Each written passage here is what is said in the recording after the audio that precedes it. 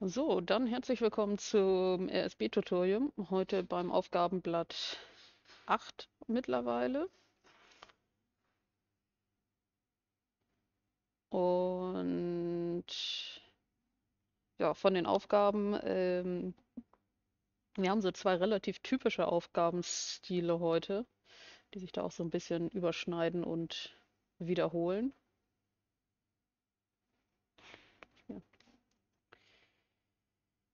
Wenn wir uns ja, im Endeffekt, also ich gehe jetzt heute mal nicht ganz so durch die Aufgaben einzeln durch, sondern ich versuche eher so ein bisschen übergreifend äh, mit dem, was dahinter steckt, ähm, durchzugehen, auch wenn wir uns so ein bisschen am, an 8.1 gleich orientieren werden. Ähm, was wir auf dem Aufgabenblatt sehen, unter anderem in 8.1 und in 8.3, ist ein ganz typischer Stil. Wir haben quasi eine Aufgabenstellung und ähm, das ist eine textuelle Beschreibung, die uns die Informationen gibt, welche Signale kommen irgendwo rein und was kommt an Signal raus. Und wir sollen daraus dann ähm, versuchen, eine möglichst minimale Schaltung zu bauen. Und um diese minimale Schaltung zu bauen, ähm, geht man dann mehrere Schritte durch.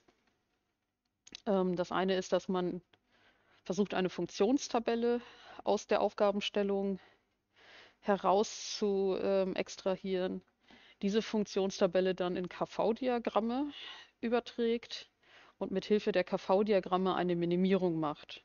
Wenn man dann eine Minimierung gemacht hat, kann man daraus dann wiederum eine Schaltung sich bauen.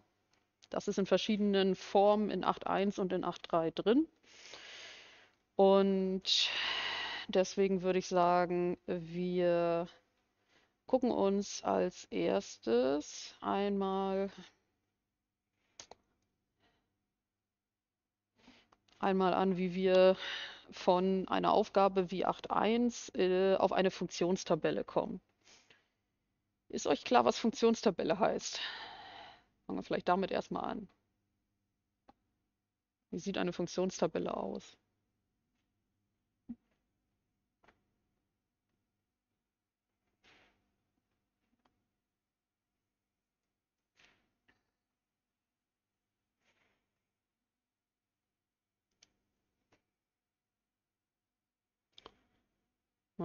Also eine Funktionstabelle, die bildet für uns quasi ab, was haben wir an Eingängen, wie sind diese Eingänge belegt und unter dieser genau gegebenen Belegung, was ist dann der dazugehörige Ausgang. Wenn wir zum Beispiel ähm, vier Eingänge haben, ähm, sei es dann x3, x2, x1, x0,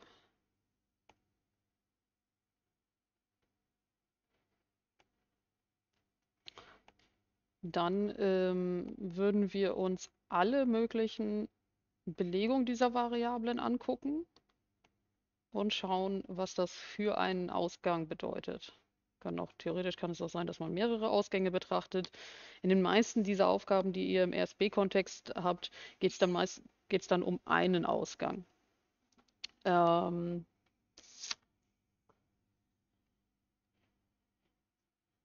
Manchmal steht auch ganz explizit, wie das heißt. Für Aufgabe 8.1 äh, steht da jetzt irgendwie nichts. Also ähm, in 8.3 zum Beispiel wird halt gesagt, ne, den, äh, der Ausgang y. Ja, dann wäre wär halt y das, was wir als Wert annehmen. Also als Ausgang sehen würden.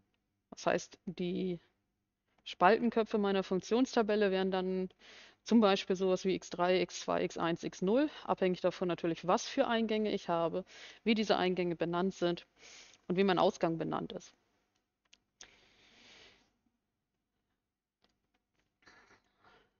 Ähm, da ich mir gleich gerne mit euch aus der 7-Segment-Anzeige das Segment A anschauen würde, würde ich sagen, wir nennen unseren Ausgang einfach mal A. Mal gucken, ne? genau, C und G sollt ihr machen, dann würden wir uns gleich A angucken. So, und wenn man jetzt sagt, alle Variablenbelegungen durchgehen, ne, dann heißt das, wir fangen an, dass man einmal alles 0 hätte. Wenn ihr irgendwas nicht lesen könnt, dann schreibt bitte auch rein. Ich bin heute ein bisschen langsamer hier im Schreiben. Ähm, so, also wir würden uns dann quasi angucken, alle Variablenbelegungen 0, was würde das für unseren Ausgang bedeuten und würden dann da entsprechend den Wert eintragen. Dann würden wir uns angucken, Variablenbelegung 0, 0, 0, 1, würden quasi hochzählen. 0, 0, 1, 0 wäre dann das nächste, äh, bis wir dann am Ende bei der Variablenbelegung für alles 1 angekommen sind. So, versuche jetzt einmal schnell runterzuschreiben.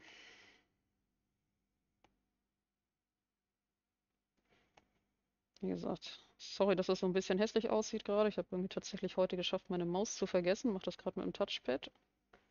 Passiert mir auch nicht so schnell wieder.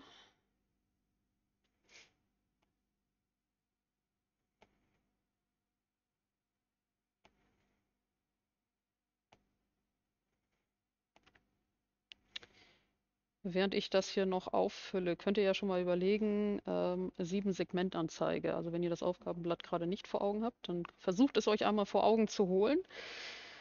Und ähm, eine sieben Segmentanzeige heißt ja, dass wir verschiedene Segmente haben, die entsprechend unterschiedlich aufleuchten, je nachdem, was für eine Zahl dargestellt werden soll. Heutzutage sieht man sie nicht mehr ganz so häufig. Hm, früher ganz viel irgendwie halt auf Weckern. Aber es gibt weiterhin natürlich auch für irgendwelche elektronischen Geräte genau solche Anzeigen. Wenn ihr in den Aufgabentext guckt, dann seht ihr, dass dort etwas dazu steht, also von 8.1, dass da etwas dazu steht, wie wir mit den Ziffern von 0 bis 9 umgehen. Und zwar wird da ja gesagt, wir codieren die Ziffern 0 bis 9 im 4-Bit-Dualcode als 000 0 bis 1001. Außerdem soll bei Eingabe 1111 der Buchstabe E ausgegeben werden. Das heißt, wir werden auf jeden Fall Fälle haben, äh, die wir hier durchziehen können. Also 0, 1, 2, 3, 4, 5, 6, 7, 8, 9 sind die Ziffern, die damit dargestellt werden sollen. Und dann gibt es hier irgendwie ein paar, die, paar Fälle, die irgendwie nicht abgedeckt sind. Ähm, und, also zumindest in der Beschreibung. Und dann gibt es noch einmal den Fall alles 1 in den Eingängen. Und das soll dann ein E sein. So, ihr macht bitte eine vollständige Tabelle zu Hause. Ich spare mir das gerade hier aus dem Platz, das dazwischen, weil das können wir gleich relativ kurz abhaken. So, die 7-Segment-Anzeige. Das sieht ja äh, so aus.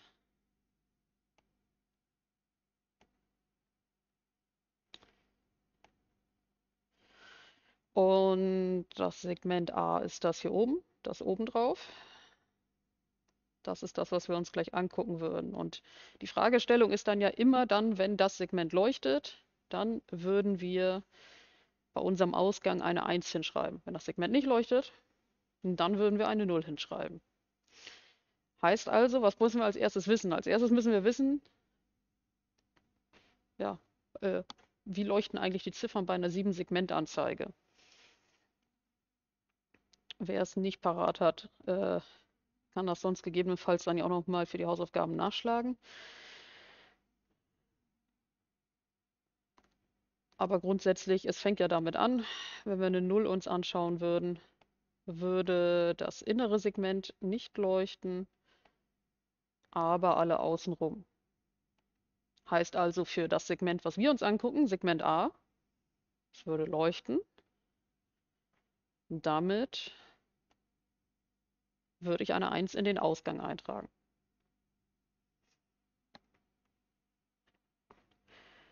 Okay, wie sieht das dann aus, wenn ich eine 1 habe in der 7-Segment-Anzeige? Eine 1 ist, glaube ich, einfach nur das hier. Zwei Striche auf der rechten Seite. Was muss ich jetzt bei meinem Ausgang eintragen?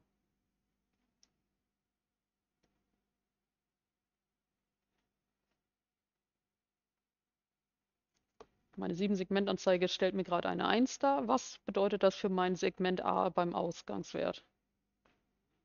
Das ist eine 0, genau. weil ist nicht an. Brauchen wir dafür nicht. Gucken wir uns nochmal, was wäre das nächste? Das nächste wäre die 2.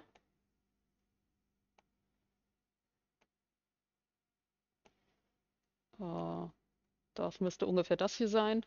Was würde das wieder bedeuten für unseren Ausgang?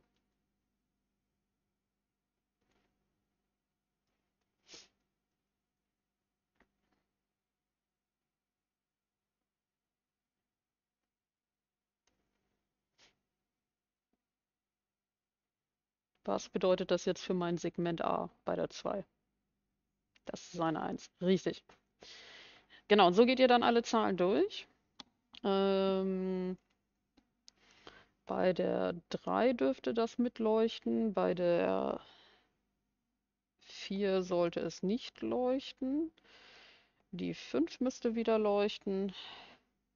Die 6 meine ich müsste leuchten. Die 7, die 8 und die 9. Und dann haben wir noch dieses äh, E.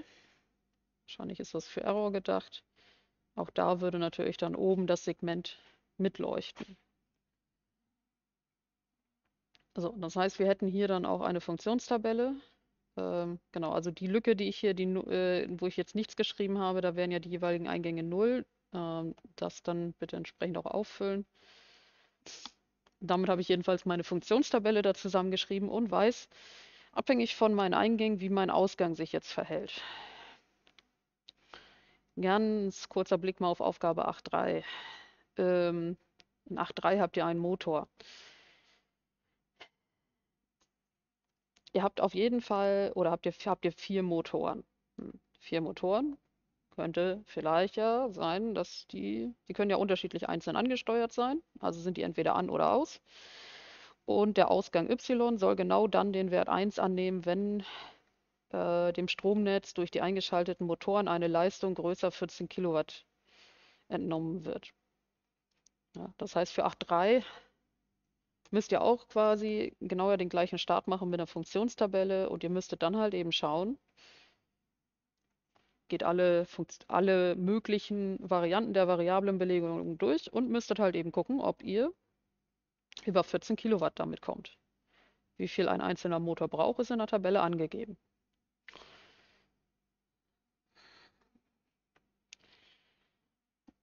So, also insofern ähneln sich die Aufgaben da.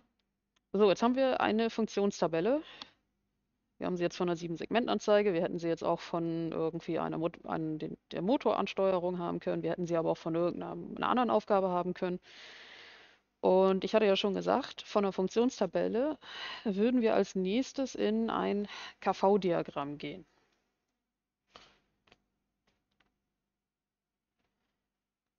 So. KV-Diagramme waren hoffentlich schon Thema der Vorlesung. Könnt ihr mir eine ganz kurze, grobe Rückmeldung geben? Habt ihr das zumindest grob präsent? Ja, gut. Ich prüfe das immer lieber nochmal nach. So, KV-Diagramm. Ähm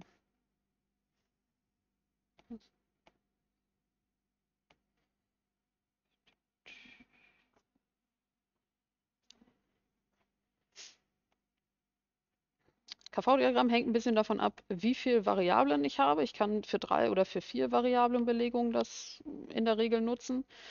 Ähm, ihr habt auf dem Aufgabenzettel da auch die, die Variablenanordnung als Hilfe mitbekommen.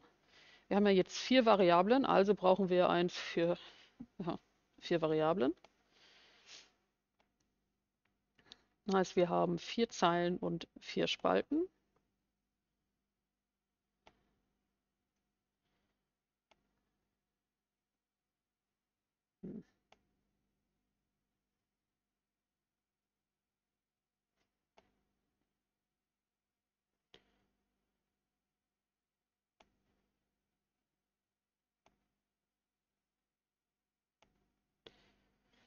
Und tendenziell eben die Variablenbelegung x3, x2 wird den Zeilen zugeordnet.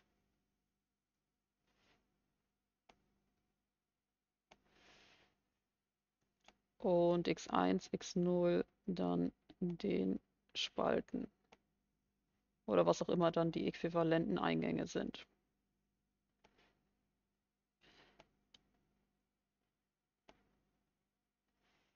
Und es geht immer darum, dass wir gucken, was ist dann mit dem jeweiligen Eingang. Ähm, die Zeilen- und Spaltenbeschriftung gibt uns dann den Hinweis darüber, welche Eingangsbelegung die Variablen dann haben.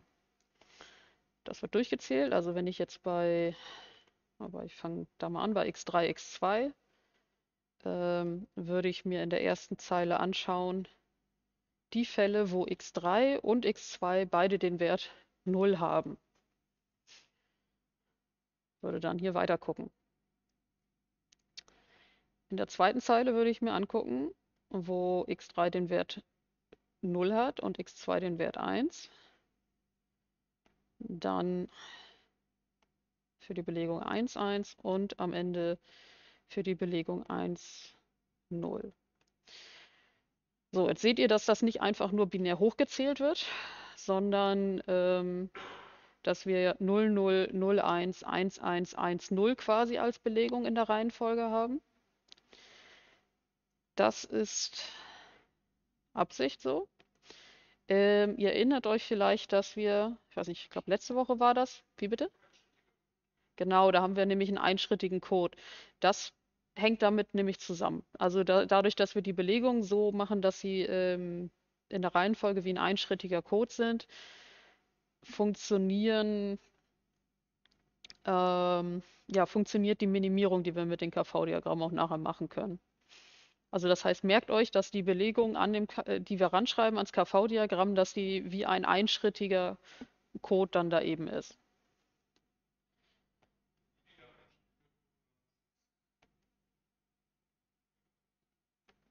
Wie bitte? Das ist die Variante, wie man das an das KV-Diagramm setzt. Also nicht anders, sondern wirklich so 00, 01, 11, 10.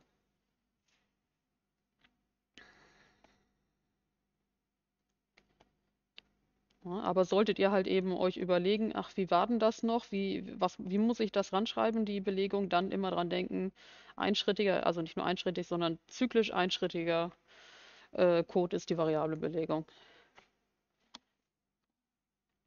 Für den Fall, dass wir nur drei Variablen hätten, dann würden wir links bei den Zeilenbeschriftungen auch nur 0 und 1 nehmen und dann würden das halt eben die, äh, würde das x3 wegfallen. So, aber wir haben hier vier Eingangsbelegungen. Und ähm, aufgrund der Variablen, also der Eingangsbelegung der Variablen, haben wir jetzt den Hinweis ähm, für jedes dieser 16 Felder, zu welcher ganz detaillierten Belegung das Ganze gehört. Denn wenn ich jetzt die Zeilen und Spalten kombiniere und hier oben links mir das Feld angucke, dann habe ich dahinter die Variablenbelegung 0000. Wird ein bisschen deutlicher vielleicht, wenn ich mir ein Feld weiter rechts angucke. Da hätte ich x30, x20, x10, aber x0 mit dem Wert 1. Also 0001, wenn man das so ein bisschen kurz fassen würde.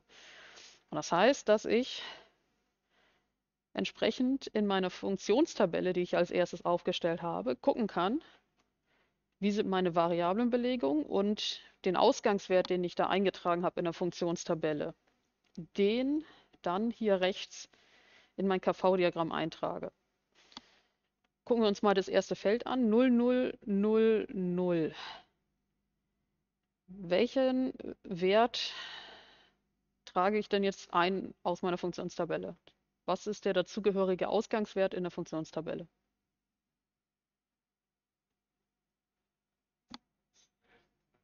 Genau, das ist direkt die erste Zeile. Das ist eine 1. Alle Variablen haben den Wert 0. Damit kommt hier eine 1 hin. So, wir würden uns das nächste angucken. 0001 hätte welchen Wert?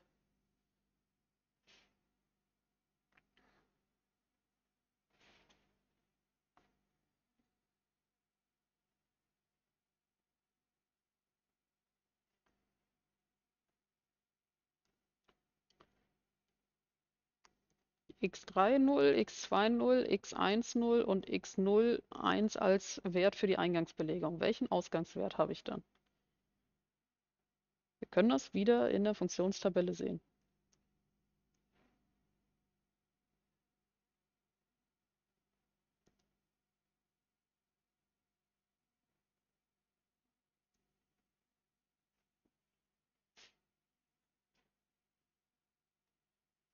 Genau, richtig.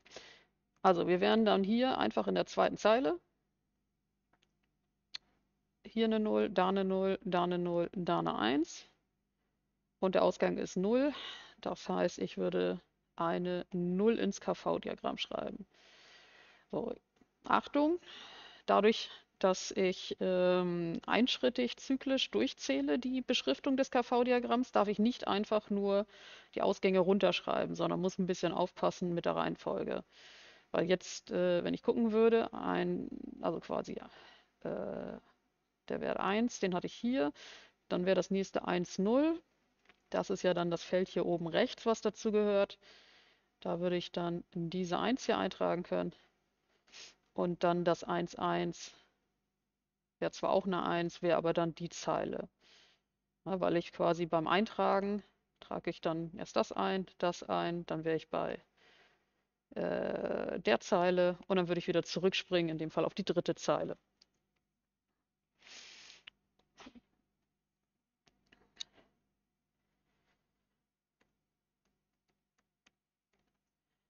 Also, und das muss ich quasi machen, bis ich alles in mein KV-Diagramm übertragen habe. Ähm, ich sehe in meiner Funktionstabelle, dass ich hier nochmal eine 0 habe als Ausgangswert.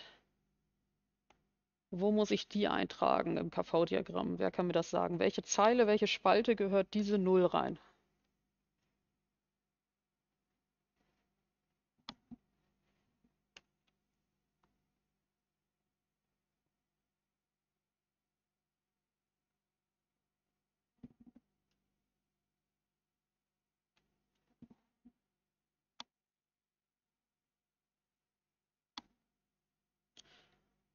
Okay, Spalte 1, Zeile 2 ist der Vorschlag. Gucken wir uns das einmal an. x3 und x2, äh, x3 0, x2 1.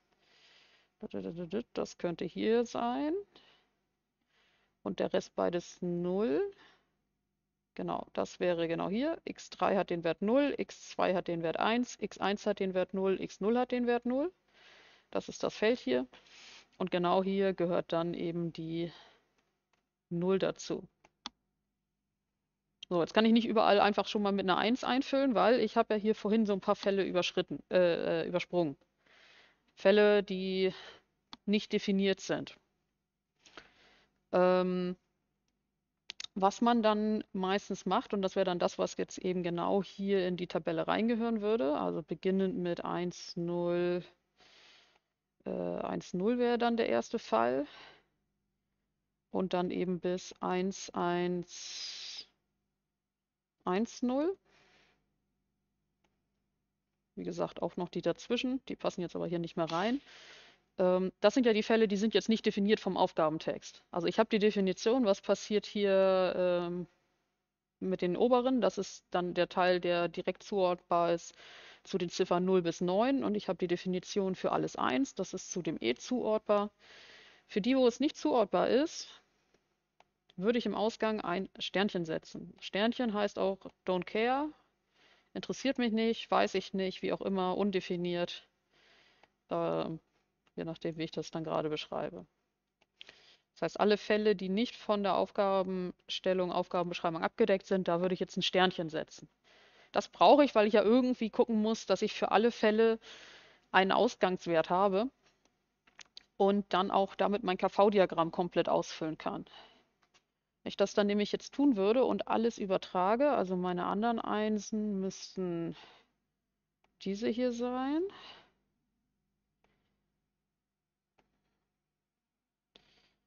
Äh, so, Moment, hier ist auch noch eine. Genau, das müssten alle Fälle, Fälle sein, wo noch eine 1 zugehört. Und dann haben wir halt eben fünf Fälle über, die nicht definiert sind. Und da würden wir jetzt eben das Sternchen eintragen, damit unser KV-Diagramm da nicht leer bleibt. Das hilft uns auch, und das werden wir gleich sehen.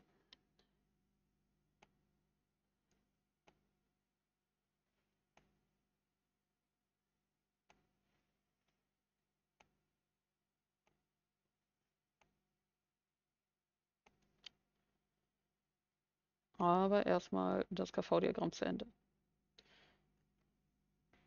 So. Warte jetzt noch mal ganz kurz, ob noch irgendwelche Fragen sind zu dem Schritt von Funktionstabelle zum KV-Diagramm. Also wir haben unseren Aufgabentext analysiert, wir haben eine Funktionstabelle aufgestellt und wir haben jetzt die Funktionswerte aus der Funktionstabelle in ein KV-Diagramm übertragen.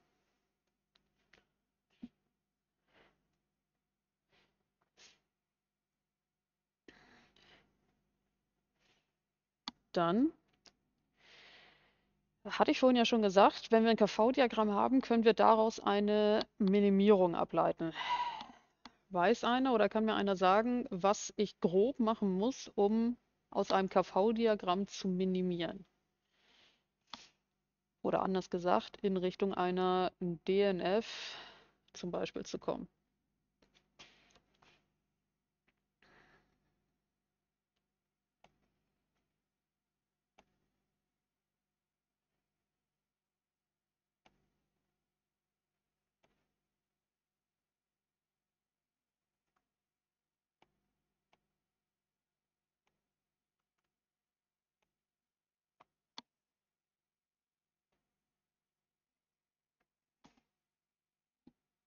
Was mache ich, wenn ich ein KV-Diagramm habe und ich will eine Minimierung für eine DNF machen?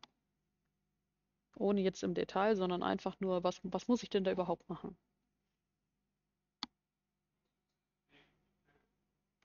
Ich muss irgendwas mit den Feldern machen, genau. Und ich muss da, du hast, beschreibst es gerade als Weg, ähm, es wird beschrieben als, ich muss Schleifen bilden über die Felder. Ähm, Genau, wir sind bei der DNF. Also äh, bei der DNF würde ich die Schleifen so bilden, dass ich die Schleifen über Einsen bilde, also Felder mit Einsen. Ich darf in diesen Feldern auch Felder mit Sternchen drin haben. Mein Ziel ist es, dass am Ende ich durch eine oder mehrere Schleifen alle Einsen in einer oder mehreren Schleifen drin habe. Also eine Eins darf wiederverwendet oder ein Feld darf wiederverwendet werden wenn es in einer Schleife war, darf es gegebenenfalls auch nochmal in einer anderen wieder auftauchen. Und ähm, es müssen am Ende alle auf jeden Fall in mindestens, also alle Einsen müssen in irgendeiner Schleife auf jeden Fall drin sein. Genau, welche Züge sind erlaubt? Ähm, das Ziel ist, möglichst große Schleifen zu bilden. Und Dabei muss man beachten, dass diese Schleifen immer nur die Größe von Zweierpotenzen haben dürfen. Das heißt, ich darf Schleifen bilden, wo ein Feld drin ist. Ich darf Schleifen bilden, wo zwei aneinanderliegende Felder drin sind. Ich darf Schleifen liegen, wo vier Felder drin sind. Vier Felder kann zum Beispiel aussehen, äh, dass ich sowas mache. Also vier nebeneinander liegende in einer Zeile oder vier nebeneinander liegende äh, oder übereinander liegende in einer Spalte. Aber ich kann auch vier im quasi Rechteck nehmen, äh, liegende nehmen. Also das wären dann ja quasi zwei und zwei. Das wäre auch möglich. Nächstgrößere wäre dann Zweierpotenzen. Statt vier wäre das nächstgrößere acht. Bei 8 hat man dann meistens sowas wie, ist nicht hübsch, aber gut, ähm, wie zwei Zeilen oder eben das Äquivalent mit zwei Spalten.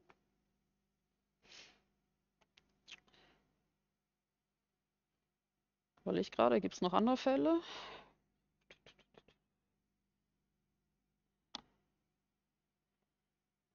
Ne, 8 sind glaube ich dann immer nur die. Äh, heißt also, sechs Felder geht nicht, weil es keine Zweierpotenz. Würde man manchmal gerne machen, würde man manchmal gerne wollen, geht aber nicht. Ich habe tatsächlich einen besonderen Viererfall noch oder, oder überhaupt einen besonderen Fall noch vergessen.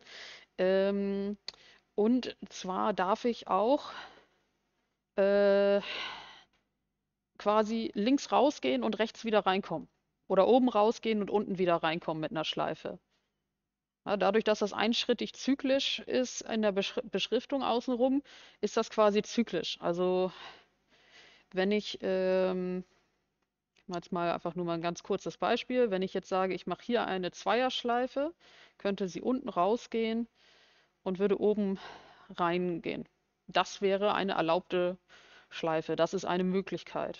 Genau das gleiche darf ich auch mit links und rechts machen oder ich darf es auch kombinieren. Wirkt jetzt erstmal ein bisschen kompliziert. Ich glaube, wenn man erstmal so die ersten Schleifen gebildet hat, dann wird es auch deutlich einfacher. Ähm, wie gesagt, merkt euch auf jeden Fall, dass es die Schleifengröße immer Zweierpotenzen auf jeden Fall sind.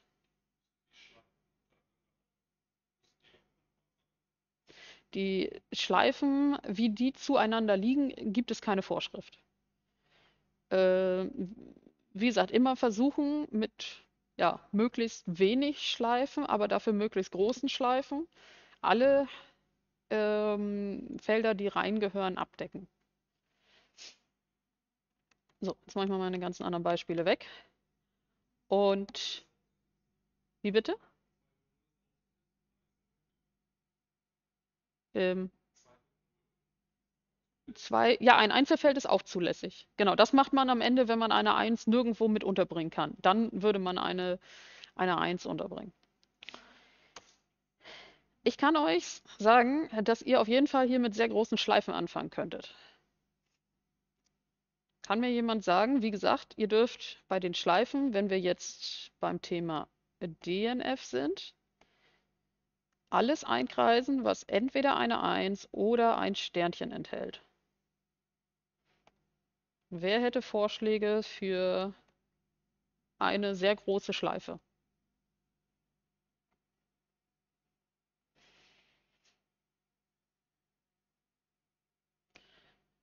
Ganz unten die acht Stück kamen noch relativ schnell. Genau. Also ich kann unten die letzten beiden Zeilen nehmen. Da sind hier Einsen und Don't Cares.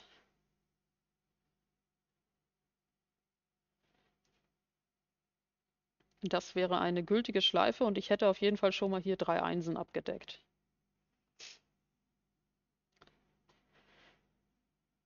Gut. Fehlen mir aber noch, ich mache das mal ein bisschen hübscher, man sieht die anderen dann kaum. Ähm, damit habe ich aber noch nicht alle Einsen abgedeckt.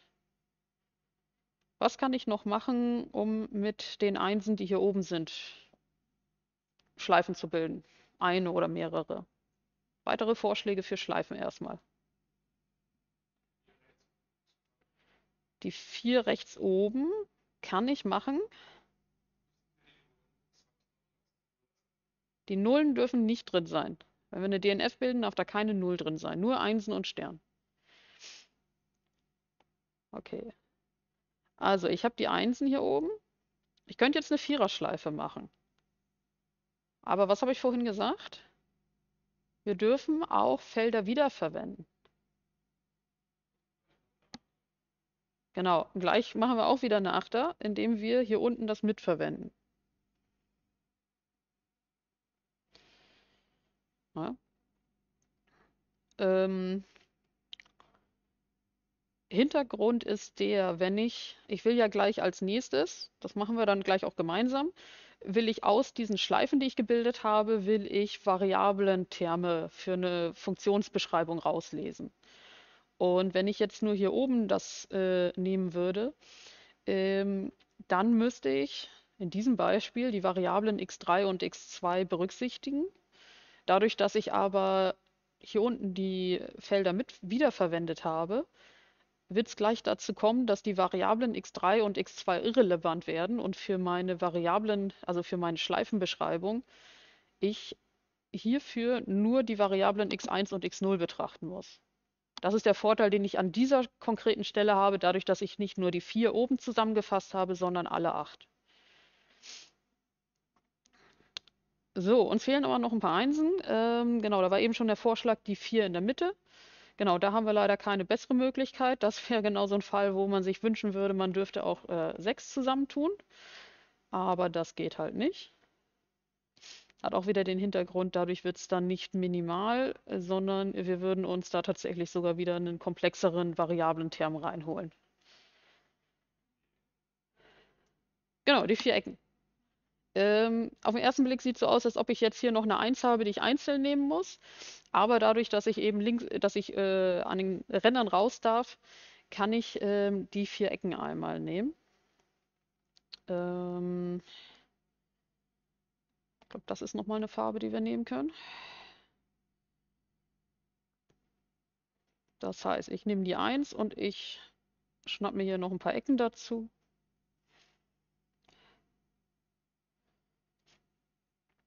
So, ihr seht schon, dass es so ein bisschen unübersichtlich wird. Dadurch, dass ich jetzt Farben genommen habe, geht das Ganze noch etwas. Äh, wenn ihr das in der Hausaufgabe macht und ihr wollt nicht mit Farben arbeiten, weil ihr, keine Ahnung, wie gesagt, handschriftlich abgebt oder was auch immer, ähm, dann würde ich euch empfehlen, dann immer den Schritt zu machen, eine Schleife plus Variablenbeschreibung, nächste Schleife, Variablenbeschreibung, damit ihr immer genau wisst, welche, über welche Schleife ihr gerade arbeitet. Ähm, wenn man mit Farben arbeitet, dann ist natürlich schöner, erstmal alle Schleifen zu machen, dann weiß man auch sicher, man hat alles abgedeckt und würde dann eben zum nächsten Schritt gehen. So, wir gucken noch mal kurz. Wir haben ja mittlerweile so ziemlich alles drin, außer irgendwie die zwei Felder mit der Null. So ist es, so soll es fast sein. Ähm, kleine Anmerkung. Es hätte jetzt sein können, dass Felder noch nicht eingekreist werden nach diesem letzten Schritt, die ein Sternchen drin haben. Das dürften wir dann ignorieren. Also wirklich, das für die DNF müssen wir nur schauen, dass wir alle Felder mit einer 1 eingekreist haben, mit einer Schleife. Und die Sternchen sind einfach nur eben als Hilfe, um gegebenenfalls größere Schleifen zu bilden. So, wir haben eingekreist. Dann versuchen wir mal abzulesen. Äh, fangen wir mal vielleicht wieder unten mit dem an, was wir hatten. Äh, wir, das wäre die rote Schleife, damit haben wir am Anfang angefangen. Und, und zwar geht es jetzt darum, wir gucken, bei welchen Variablenbelegungen ist für diese Schleife Aussag, äh, ja, ausschlaggebend, ähm, dass da eine, ein, eine ganz bestimmte Variablenbelegung vorliegen muss. Und das würde man aufschreiben. Und wenn wir hingegen allerdings sehen, dass für eine Variable sowohl äh, wir in dieser Schleife landen, wenn die variable Belegung 0 als auch 1 ist, dann würden wir sie ignorieren können und dann würde, sie, würde diese Variable in dem Term wegfallen. Heißt also, ähm, ich gucke mir jetzt die rote Schleife an. Fangen wir an mit x3. Bei der Belegung 1, hier ist beide Male eine 1, würde ich in diese Schleife kommen. Das heißt, ich schreibe einmal x3 auf. Gucken wir uns x2 an für diese Schleife. Bei x2 habe ich das einmal ähm, dass ich in der Schleife lande bei der Variablenbelegung x2 gleich 1 und einmal x2 gleich 0. Das heißt, zwei verschiedene Variablenbelegungen, dann fällt diese Variable weg. Weil da muss nicht ein bestimmter Wert an der Variable vorliegen, damit ich in der Schleife lande, sondern das kann bei jedem der beiden möglichen Fälle sein, dass ich in der Variable lande. Dann brauche ich das nicht für meine Variablenbeschreibung, äh, für meine Schleifenbeschreibung. Wir machen als nächstes x1. Ähm, das ist das linke hier oben von den Spalten. Und wir sehen, dass wir sowohl bei Nullen als auch bei Einsen in der Schleife landen. Kein Kunststück, das ist eine relativ große Schleife. Also fällt auch x1 weg für die Beschreibung der Schleife. Und bei x0 das gleiche, 0, 1, 1, 0. Auch da haben wir die unterschiedlichen Variablenbelegungen. Heißt am Ende, die ähm, rote Schleife lässt sich allein dadurch beschreiben durch den Funktionsterm x3. Wenn in unserer, heißt also, anders gesagt, heißt also, wenn x3, der Eingang x3 den Wert 1 hat, dann wird unser Ausgang entweder 1 oder don't care gegeben. Können wir in der Funktionstabelle einmal gegenprüfen. x3. Habe ich die Fälle hier unten. Und ich gucke hier rechts und ich sehe 1, 1, Stern, mehrere Sterne, nochmal ein Stern, 1. Passt zu dem, was wir in der Schleife haben. Also wenn x3 den Wert 1 hat, wird der Ausgang 1 oder Stern sein.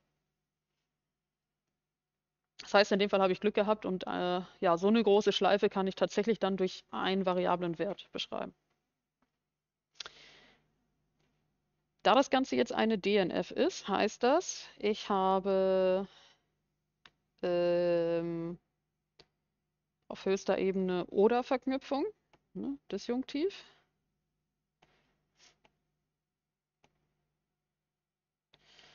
Und in den Termen hätte ich eine Und-Verknüpfung, aber da ich jetzt nur die Variable x3 brauche für das rote, brauche ich da gerade nicht mehr.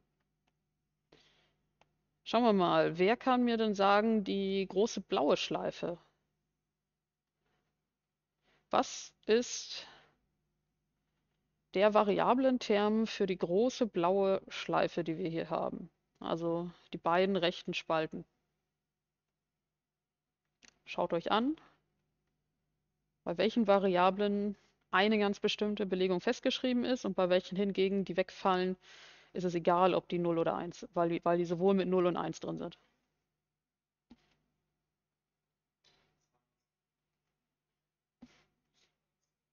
Hm. Richtig, äh, das ging schnell. Genau, also äh, wir haben x3 und x2 haben wir die unterschiedlichsten Belegungen da drin. Äh, 0, 0 und 1, 1 oder 0, 1, 1, 0, die sind alle drin, also mit 0 und 1, x3, x2 fallen damit weg. Wenn wir uns die Spalten angucken, x1 ist jeweils immer 1. Dann haben wir noch x0, das ist einmal mit 1 und mit 0, würde also auch wegfallen. Das heißt, das Einzige, was die blaue Schleife beschreibt, ist der Variablenterm x1 mit dem Wert 1. Und da wird er entsprechend positiv hier eingetragen. So, das könnten wir jetzt in der Funktionstabelle wieder gegenprüfen. Ähm, könnt ihr dann zur Übung oder so dann nochmal machen oder könnt ihr euch dann nochmal angucken. Damit haben wir auch schon die blaue Schleife beschrieben.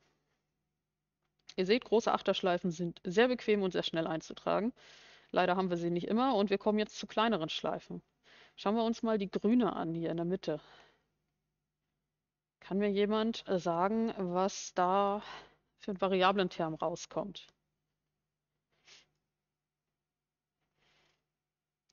Ein Teil fällt weg von Variablen, aber ein Teil werden wir brauchen. Und da ist dann halt eben wichtig, welche dazwischen sind. Wie bitte? Ähm, 0 und 2. Das sieht sogar gut aus, glaube ich. Gucken wir mal. Also x3 fällt weg, weil 0 und 1. x2 bleibt auf jeden Fall da. Dann ist das Ganze unverknüpft in dem Term. Das heißt, ich brauche hier gerade nichts zwischenschreiben und ich gucke nochmal bei den Spalten. Äh, x1 ist mit 0 und 1, fällt weg und x0 hat den Wert 1, bleibt also da und wird dann unverknüpft hinzugefügt. Also habe ich den Term x2, x0 oder x0, x2, je nachdem, warum ich das aufschreibe. Okay, ein Term fehlt uns noch. Die vier Einsen in den Ecken. Was ist das für ein Term?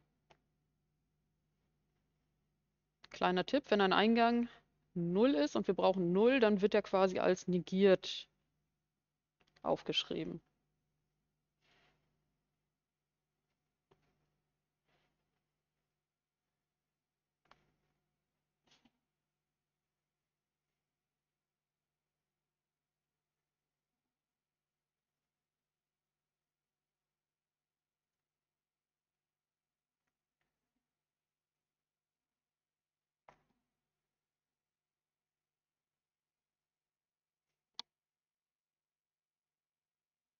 Die braun-goldene Schleife. Was meint ihr, welche Terme oder welcher Variablenterm dahinter steckt?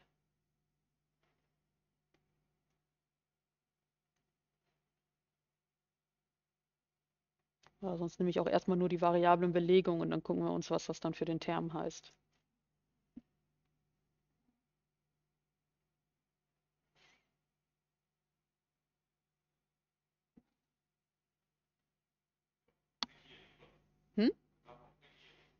Genau, du, du musst auch negieren, wenn du als Ergebnis eine, Nu- äh, äh, also wenn, wenn der Eingangswert eine Null ist. Dann brauchst du ja den negierten Eingang, also den nicht auf eins gesetzten aktiven. Wie bitte? Ähm, ich glaube, du meinst das Richtige. Ähm, genau, also die invertierten äh, x2 und die x invertierte x0 brauchen wir. Äh,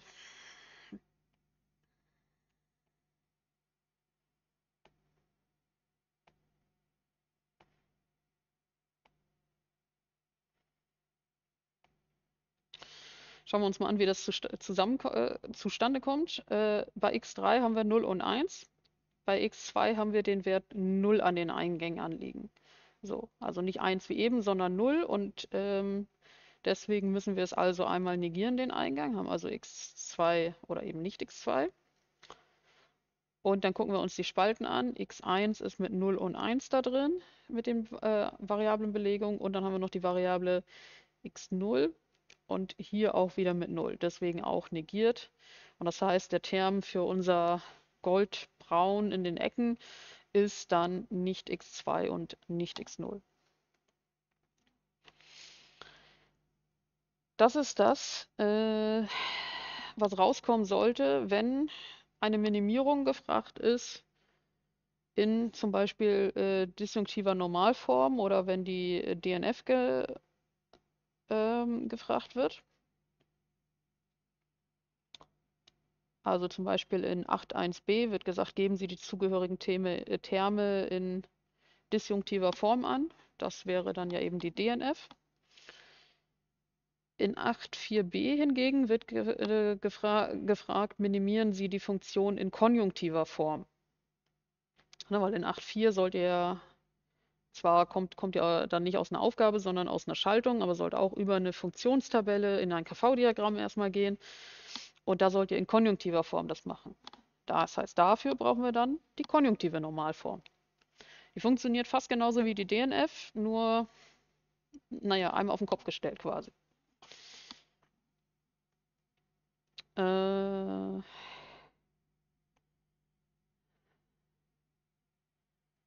Schauen wir mal. Gut, das war nicht ganz der, den ich kopieren wollte, aber egal, reicht uns auch. Also die KNF. Ähm, wir haben eben bei der DNF die Einsen eingekreist. Bei der KNF müssen wir die, die Schleifen mithilfe der Nullen bilden. Auch hier ist es wieder erlaubt, die äh, Sternchen, also die Don't Cares, mitzubenutzen oder nicht mitzubenutzen. Hat jemand einen Vorschlag, wie ich bei meinem KV-Diagramm jetzt die Schleifen bilden kann für ähm,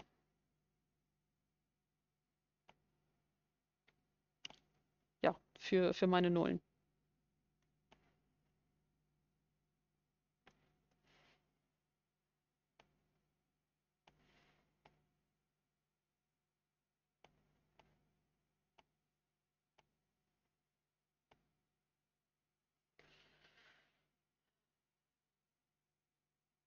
Oben links die 4.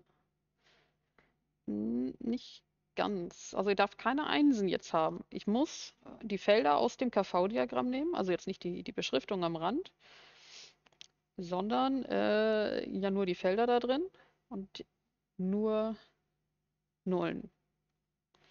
Ah, vielleicht muss ich was einzeln nehmen, aber es gibt mindestens eine Schleife, die ist größer als eine Einzelschleife.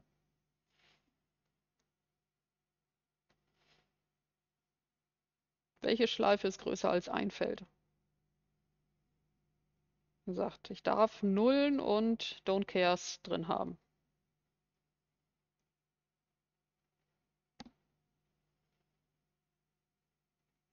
Mitte links die 2. Genau.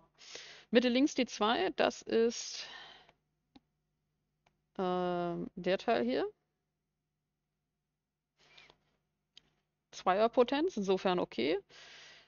Mehr hier rechts habe ich nichts, kann ich nichts hinzufügen. Auf der linken Seite hier einmal ähm, rüber auch nichts. Aber immerhin zwei, ist, zwei Felder ist besser als ein Feld. ähnlicher Grund wie eben auch mit dem Unterschied zwischen dem, äh, der Viererschleife und der Achterschleife. Auch hier habe ich zwar immer noch einen komplexen Term, aber er ist immerhin weniger komplex, als wenn ich nur ein Einzelfeld nehmen würde. Und dann habe ich hier oben noch die 0 und äh, falls ich in der Vorbereitung keinen Fehler gemacht habe, ist da tatsächlich leider nichts anderes mit zu kombinieren und den brauchen wir dann als Einzelterm.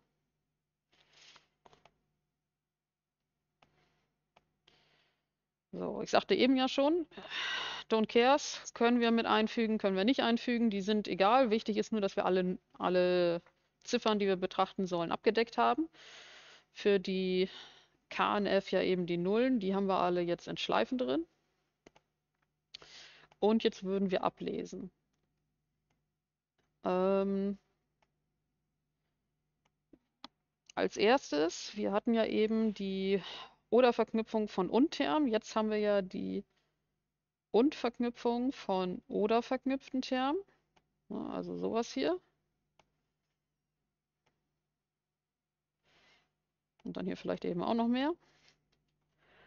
Und äh, wir müssen einmal weil wir ja eine Null als Ausgang haben, äh, die, die wir beschreiben, damit dann das, der Wahrheitswert wieder stimmt, lesen wir auch wieder am Rand unsere Zeilen und Spalten ähm, ab für die Variablenbelegung und invertieren die allerdings einmal.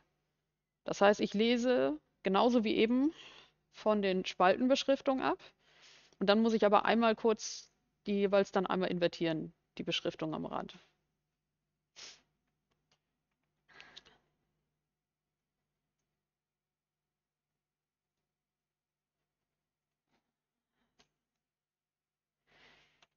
Gucken wir uns das einmal an. Ich würde sagen, ich mache mal das Blaue für euch als Beispiel.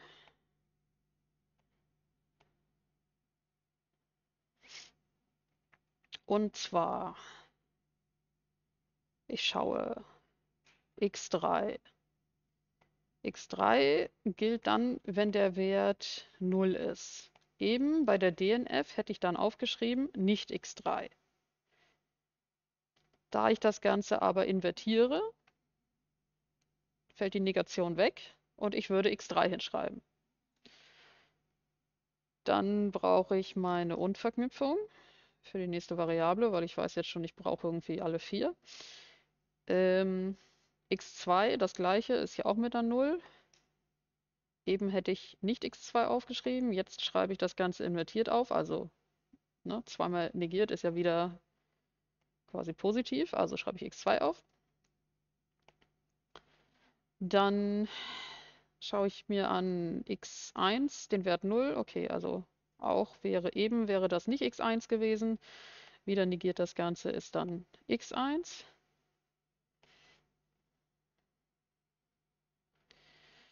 Und x0 hat hier den Wert 1. Eben hätte ich aufgeschrieben x0. Jetzt invertiere ich das Ganze, schreibe also nicht x0 auf.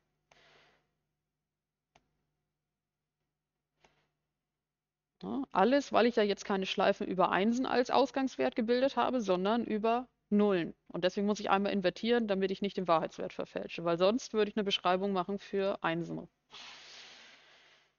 Das heißt, meine blaue Schleife hat am Ende die Beschreibung vom Term her x3 und x2 und x1 und nicht x0.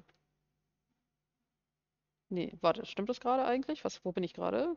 Konjunktiv. Es ist eine Konjunktive. Natürlich habe ich jetzt gerade die falschen Verknüpfungen dazwischen gesetzt.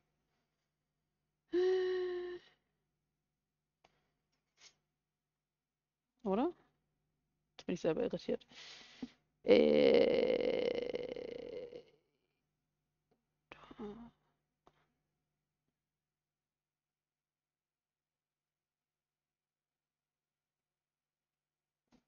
Ja, ja, gut, okay. Ähm, jetzt weiß ich, wo ich mich gerade weg, irritiert habe. Ich bin ja immer noch hier in einer kleinen Klammer. Und äh, Konjunktiv heißt ja, dass ich auf oberster Ebene das und habe. Also zwischen den einzelnen Schleifen die Verknüpfung das und ist. Sorry, da habe ich jetzt gerade einmal nicht aufgepasst und mich selber ausgetrickst. Das heißt natürlich, dass wir hier eine Oder-Verknüpfung haben.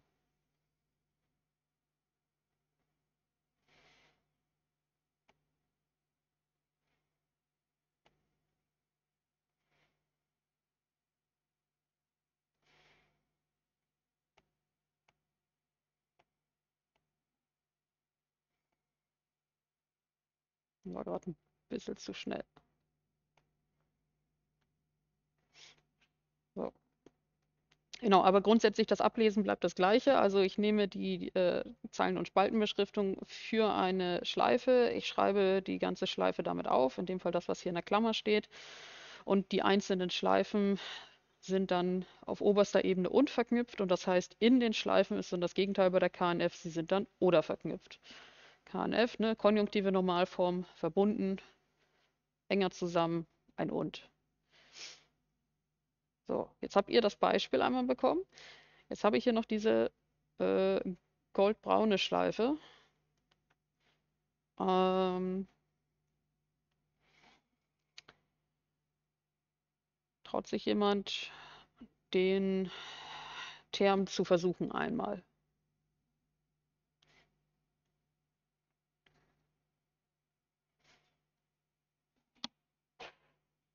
Ihr werdet eine Variable weniger brauchen als eben. So viel kann ich schon mal verraten. Aber was ist der Term für die goldbraune hier noch fehlende Schleife?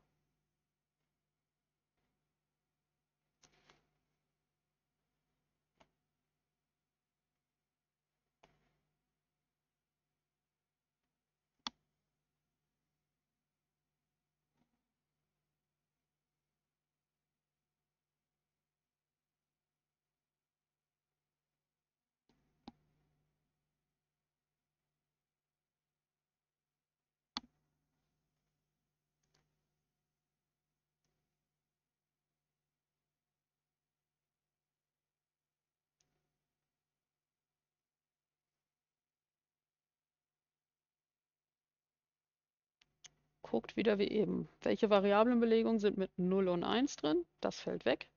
Und bei welchen Variablenbelegungen gibt es einen spezifischen Wert? Das gleiche dann so eben wie eben aufschreiben und dann einfach einmal einzeln negieren. So, was haben wir hier? Vorschlag wäre nicht x2. Ich schreibe den erstmal einfach einmal auf.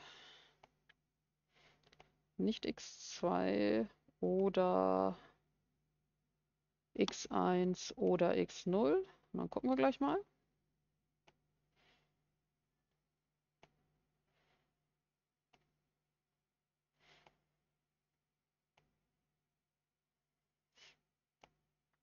Also schauen wir mal. Also x3 wäre hier drin in dieser Schleife mit 0 und 1. Fällt also weg.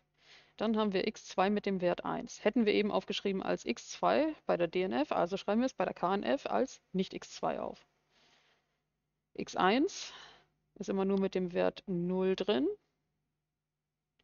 Würden wir also statt negiert, würden wir es als x1 aufschreiben. Und x0 das gleiche, das heißt, wir würden hier nochmal x0 haben. Das Ganze jeweils oder verknüpft. Genau richtig. Das heißt, die Variablenbeschreibung für die Schleife ist dann nicht x2 oder x1 oder x0. Das ist dann das, wenn es heißt, bilden Sie die KNF. Wobei es kann manchmal auch Aufgaben geben, wo dann halt eben beides gemacht werden soll.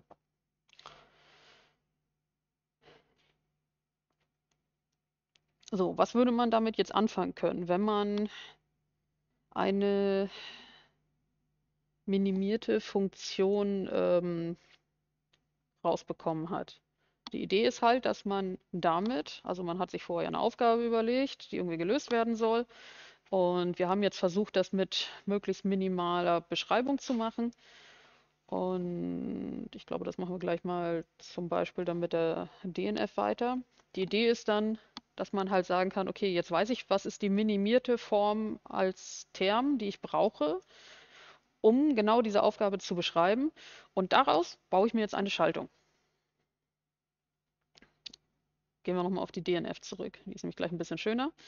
Das heißt, ähm, um die Funktionalität abzubilden. Also wenn ich jetzt eine Schaltung bauen wollen würde, die mir genau das Segment A ansteuern würde, dann brauche ich eine Schaltung, die aus den Eingangsbelegungen, und wir haben ja vier verschiedene, also es gibt vier verschiedene Eingänge, die kommen, von x0 bis x3 oder x3 bis x0, ähm, die dann auf diese Art verknüpft sein muss, wie in der DNF. Das reicht dann, damit der Ausgang immer genau den richtigen Wert hat. Die Aufgabenstellung dazu kann dann sowas heißen wie implementieren Sie die Schaltfunktion aus Aufgabenteil hm, hm, hm, mit Hades. Oder und erstellen Sie die zugehörige Hades-Schaltung. Oder ähm, zeichnen Sie die Schaltung dazu. Haben wir jetzt, glaube ich, gerade hier nicht dazwischen. Wie gesagt, wir gucken so ein bisschen Maus so allgemein quer. In diese Richtung geht es nämlich in Aufgabe 8.3 und 8.4 weiter, dass ihr eine ähm, minimierte Form habt und dann eine Schaltung daraus zeichnen sollt. Wobei ihr in 8.3 die Minimierung wieder woanders her. Oh, nee, doch, da geht es auch um die Minimierung aus dem KV-Diagramm.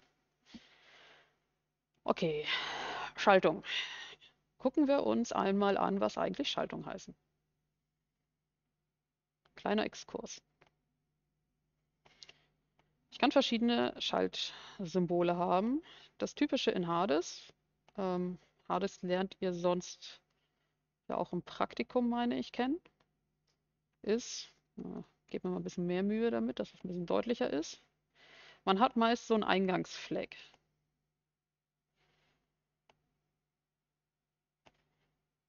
Mal wie so ein Etikett oder sowas da dran. Okay, es ist nicht ganz gerade. Ähm, da ist dann so ein Kreis da drin und dieser Kreis kann halt entweder gefüllt sein oder nicht gefüllt sein. Ne, das wäre hier so ein gefüllter Kreis. Gefüllter Kreis würde in Hades dann auch bedeuten, der Eingang ist ein, ist aktiv. Wenn ich jetzt nur einfach andeuten will, dass es um Eingang sich handelt, dann würde ich ihn halt erstmal so auch leer dann hinschreiben. Ähm, wobei, na gut, wenn ich ihn belegen will, also kann ihn dann auch, voilà, kann ihn auch schön einmal ausführen. Ja. Das wäre erstmal mein Symbol, quasi, wenn ich einen variablen Eingang haben will. Der geht dann weiter in eine Leitung. Und ich brauche natürlich auch noch eine Beschriftung. Das habe ich mir zu wenig Platz gelassen. Das war natürlich wieder nicht geschickt.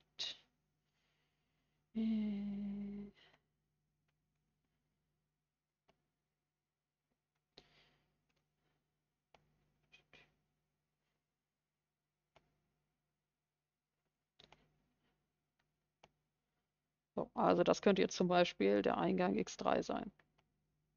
Das wäre das Symbol oder die eine Art, wie ich einen Eingang mache. Wenn ich mehrere Eingänge habe, muss ich das natürlich mehrfach tun. Das heißt, ich würde mehrere von diesen Flaggen zeichnen und hätte an jedem hier dann irgendwelche Eingänge, die als Leitung rauslaufen. Äh, Leitungen, die dann rauslaufen aus dem Eingang. So, eine Leitung kann ich dann wieder mit einem anderen Schaltsymbol verbinden. Also ich könnte hier jetzt ein Schaltsymbol dran tun. Das würde dann zum Beispiel so aussehen. Ergibt jetzt wenig Sinn, dass da ein einzelnes nur dran ist. Äh, das ist, sieht so ein bisschen aus wie so ein D. Das ist das Schaltsymbol für ein AND, also ein UND. Und ich mal das vielleicht mal extra. Ein und hat auf jeden Fall einen Ausgang und mindestens zwei Eingänge. Es gibt noch so ein paar Sonderformen, dass man eventuell auch drei Eingänge oder mehr hat. Ähm, aber in der Regel hat man halt zwei Eingänge. Wenn es ein und gibt, wird es auch ein oder geben. Das Schaltsymbol für ein oder ist so ein bisschen wie eine Pfeilspitze.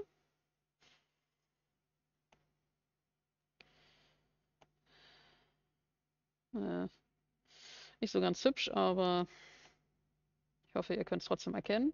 Auch hier zwei oder auch drei Eingänge. Ja, beim Oder ist es sogar ja noch ganz einfacher, viel einfacher dann auch rauszufinden, was das eigentlich bedeuten würde, wenn es mehrere Eingänge sind. bei drei Eingängen ist dann halt einer oder mehrere der Eingänge müssen positiv äh, sein oder müssen eins sein, damit der Ausgang auch wieder eins ist. Klassisch erstmal wäre natürlich das mit zwei Eingängen und einem Ausgang. So. Also wie gesagt, mehr so eine Pfeilspitze nach rechts, so ein bisschen rund hier die Seite. Wir können noch haben da den Inverter. Den wir mal. Das ist ein Dreieck mit einer Spitze äh, mit einem Kreis dran. Da geht ein Eingang rein und ein Eingang raus. Das Einzige, was dieses Schaltsymbol macht, ist, den Eingang zu negieren.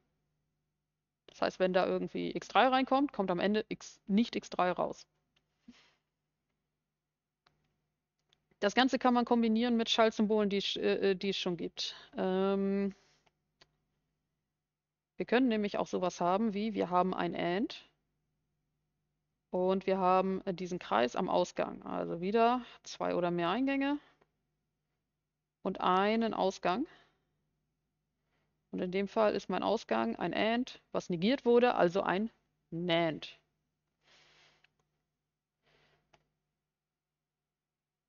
Und was ich mit dem NAND machen kann, kann ich natürlich auch mit dem OR machen.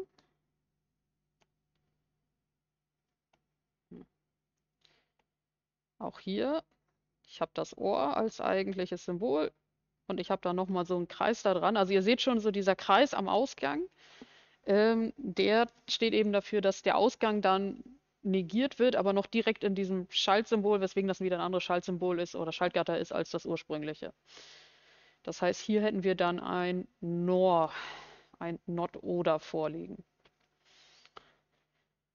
Rein prinzipiell kann ich auch noch viel mehr komische Dinge machen äh, mit diesen Negierungen. Wir haben es zum Glück nicht in der Hausaufgabe, aber nur, dass ihr es schon mal gesehen habt. Ähm, man kann theoretisch auch so Dinge tun, dass man den Eingang direkt davor negiert. Und wenn man ganz fies sein will, macht man das nur mit einem Eingang. Und wenn man dann nochmal ganz fies sein will, dann negiert man noch den Ausgang. Und dann hat man immer noch irgendwie ein etwas halbwegs gültiges und verständliches Schaltsymbol, aber man hat alle Studenten damit irritiert. Also heißt auch für eure Schalt Schaltung, die ihr macht, ähm, versucht sowas bitte zu verhindern.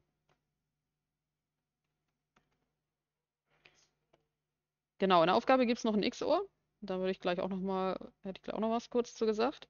Wie gesagt, das hier bitte kann man zwar theoretisch machen, aber man tut niemandem, nicht mal sich selber einen Gefallen damit. Ähm, aber falls ihr mal irgendwo was habt, dass irgendwie zum Beispiel ein oder beide Eingänge an einem Schaltgatter äh, so einen Kreis dran haben, dann heißt das, dass der Eingang negiert wird. Also so, als ob quasi so ein kleiner Inverter direkt vor dem Eingang nochmal ist. Ähm, ich hoffe, ihr werdet es nicht sehen, aber falls es so ist, dann wüsstet ihr das. So, dann haben wir noch das XOR in der Hausaufgabe. Genau, das sieht dann natürlich so aus. Wir haben erstmal das äh, OR-Symbol. Und dann ist quasi auf der linken Seite auf dem Ende nochmal parallel ähm, so ein Strich. Das ist dann das Exklusiv-Oder. Die Wahrheitstabelle, die kennt ihr hoffentlich noch. Also ne, Exklusiv-Oder, der Ausgang ist nur positiv, wenn nur genau einer der Eingänge negativ ist, nicht wenn beide. Äh, äh, Gott, negativ. Der Ausgang ist nur dann positiv, wenn genau einer der Eingänge positiv ist. Nicht, wenn beide positiv sind. Dann ist der Ausgang wieder negativ. Ähm, genau, ist das XOR. Prinzipiell können wir das Ganze natürlich auch mit einem AND machen. Das werdet ihr aber auch eher weniger sehen. Dann würde man den gleichen Kram quasi auch tun. Wie gesagt, eher seltener. Wobei, ich glaube, das ist schon eine, nee, warte, das ist, glaube ich, eine sehr krude. Vergesst es, vergesst es, vergesst es. Das ist dann nämlich eher eine theoretische Konstruktion. Also, das sind die, das sind die ähm, Schaltelemente, die ihr auf jeden Fall braucht für eine Schaltungsdesign. Ähm, nicht alle braucht ihr jetzt für die Hausaufgabe, aber alle solltet ihr irgendwie für RSB wissen oder wenn ihr dann auch mal Schaltungen macht. Ein wichtiger Punkt noch zum Thema Kreuzung von Linien. Also wir haben ja Schaltungslinien, die irgendwo hier gehen äh, über eure Schaltung und dann kann es sein, dass ihr halt hier eine habt und ihr müsst da einmal kreuzen, weil ihr da hinten in ein anderes, voilà, das natürlich auch schon, weil ihr da hinten in ein anderes Symbol rein wollt. Ähm, nicht so schön. Ähm, das Problem ist, wenn ich jetzt einfach nur sowas mache, dann sehe ich hier nicht, wo ich, ähm, also ich kann erahnen, wie meine Schaltung geht. Ähm, aber ich kann jetzt nicht hundertprozentig sagen, ist das jetzt verbunden oder nicht. Also das ist zumindest ja die Frage, die man sich erstmal stellen würde. Was ist jetzt mit was verbunden?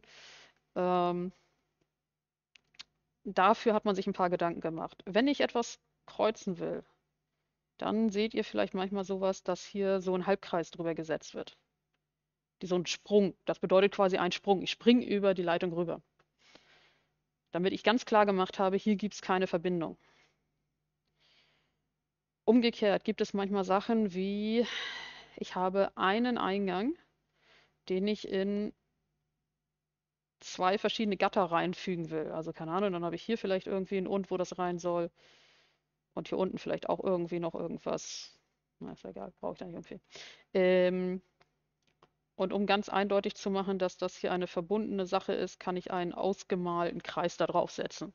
Das würde auch nochmal die Bedeutung sein, an der Stelle ist eine Abzweigung. Das heißt, dass ich mein Signal in zwei Signale aufsplitte, die aber natürlich den gleichen Wert haben wie das, was von links kommt.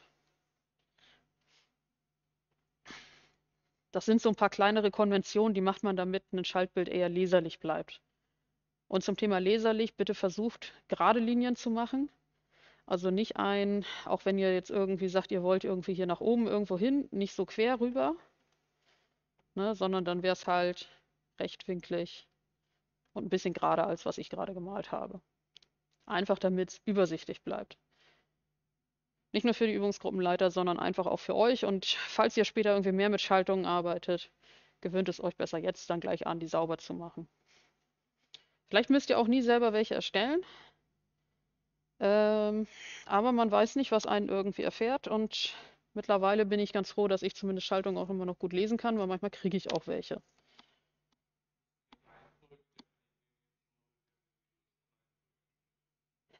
Die Reihenfolge der Eingänge im Schaubild. Ähm, ich sag mal so, das, was man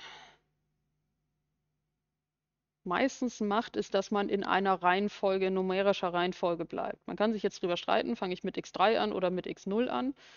Wenn jetzt wie hier in der Funktionstabelle mit x3 angefangen wird, würde ich auch von oben nach unten mit x3 anfangen. Also x3, x2, x1, x0 als Eingänge.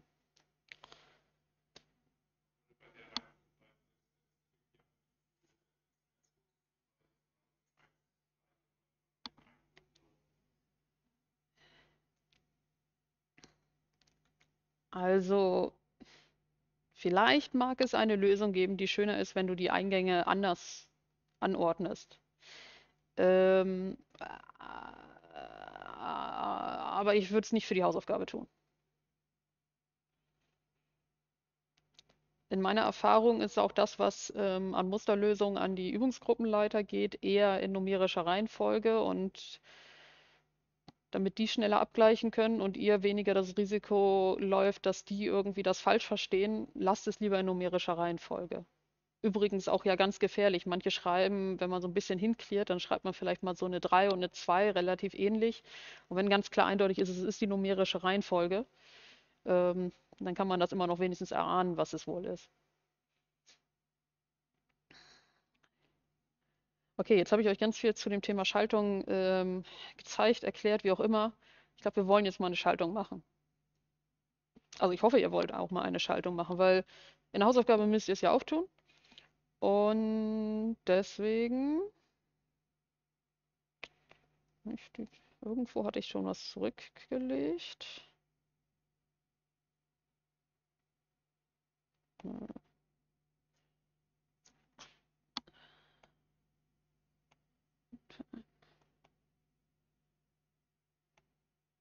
Habe ich es doch überschrieben. Na gut, dann nehmen wir das hier. Geht auch. Ähm, das war ja unsere DNF, die wir erstellt haben. Das heißt, daraus würden wir eine Schaltung bauen wollen. Was für Schaltgatter und wie viele davon brauchen wir für diese Schaltung? Fangen wir erstmal an mit der Frage, was für Schaltgatter? Könnt ihr mir sagen, was für Schaltgatter ich für die DNF brauche?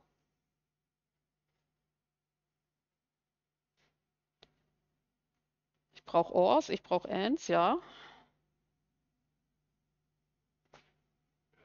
Und einen Inverter. Genau, Inverter wäre vielleicht auch nicht verkehrt. Oder zumindest irgendwas, wie ich diese Negation dann kriege. Okay. Ähm kurz noch ein bisschen Platz.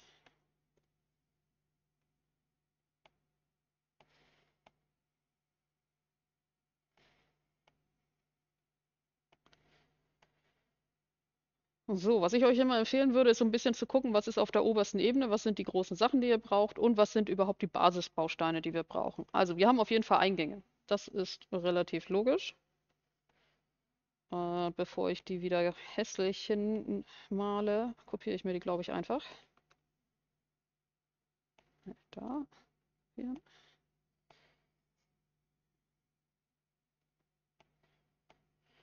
So, wir haben x3, x2, x1, x0. Alle vier Eingänge sind nötig. Kopieren wir uns doch einfach mal vier Stück hier hin. Eins.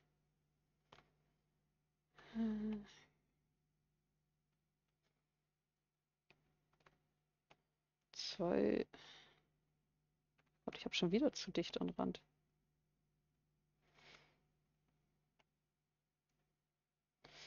Mal dran denken, links noch den Eingangsnamen ranschreiben können.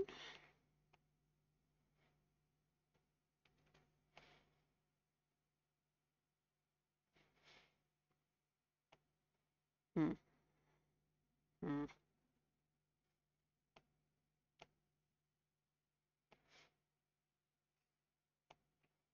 Ja, ich weiß, ist ein bisschen geschummelt, aber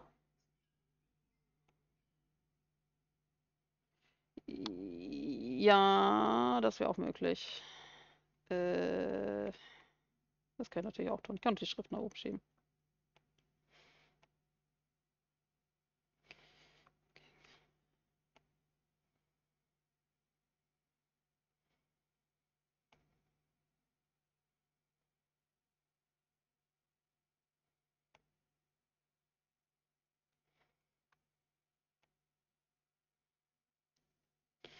So, vier Eingänge. Dann sollten wir sie auch noch beschriften. Also x3, x2, x1, x0.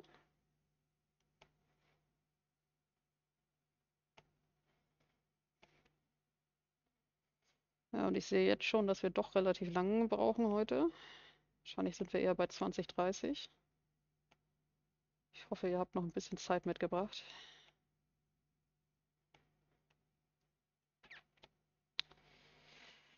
Okay, wir haben unsere Eingänge. Wir haben am Ende unseren Ausgang. Da habe ich das Kopieren verloren.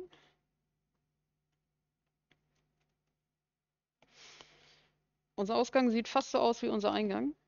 Nur, dass wir quasi von links dann daran kommen werden.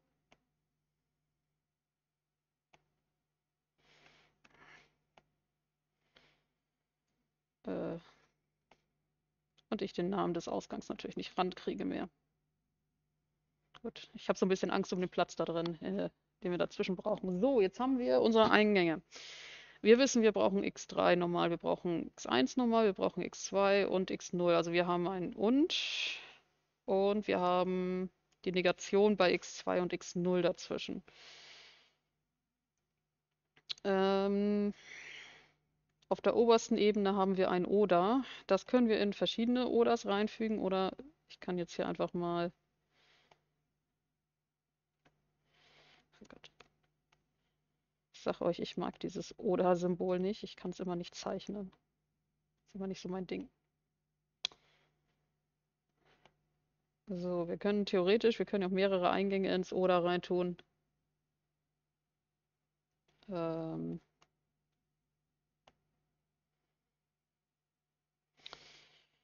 Das ist das Oder, wo am Ende alles reinkommt, also quasi diese schwarzen Oders. Und da haben wir auf jeden Fall einmal drin x3. Das geht da rein. Dann geht da x1 rein.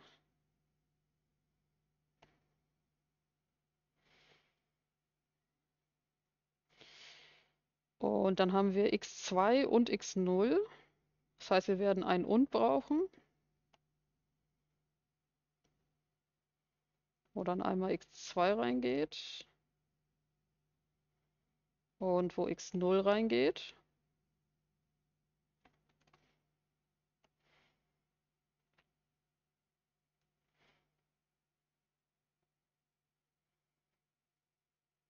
Und der Ausgang davon natürlich wieder in das Ohr rein. Und dann brauchen wir jetzt nochmal die Verundung von den Negationen. Das heißt, wir haben auf jeden Fall nochmal ein Und.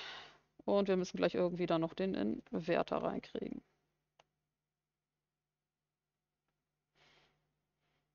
Ähm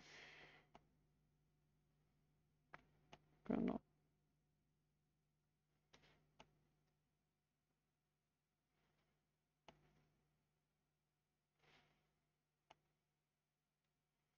Also da würde ich jetzt einmal vom x0 einmal quasi sagen, dann ist das hier eben eine Abzweigung.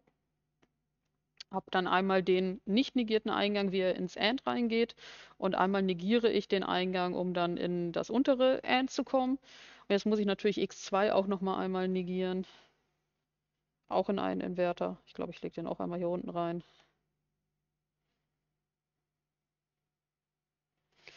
Wie gesagt äh, vorhin, es wäre jetzt genauso auch formal korrekt, wenn ich die Eingänge an dem AND negiere, also quasi nur diese Kringel an den Eingängen machen würde. Ähm, aber gerade wenn wir hier wie hier jetzt mit Negationen arbeiten, ist es einfach zum einen deutlicher und zum anderen auch expliziter, dass wir sagen, ich habe hier die Negation.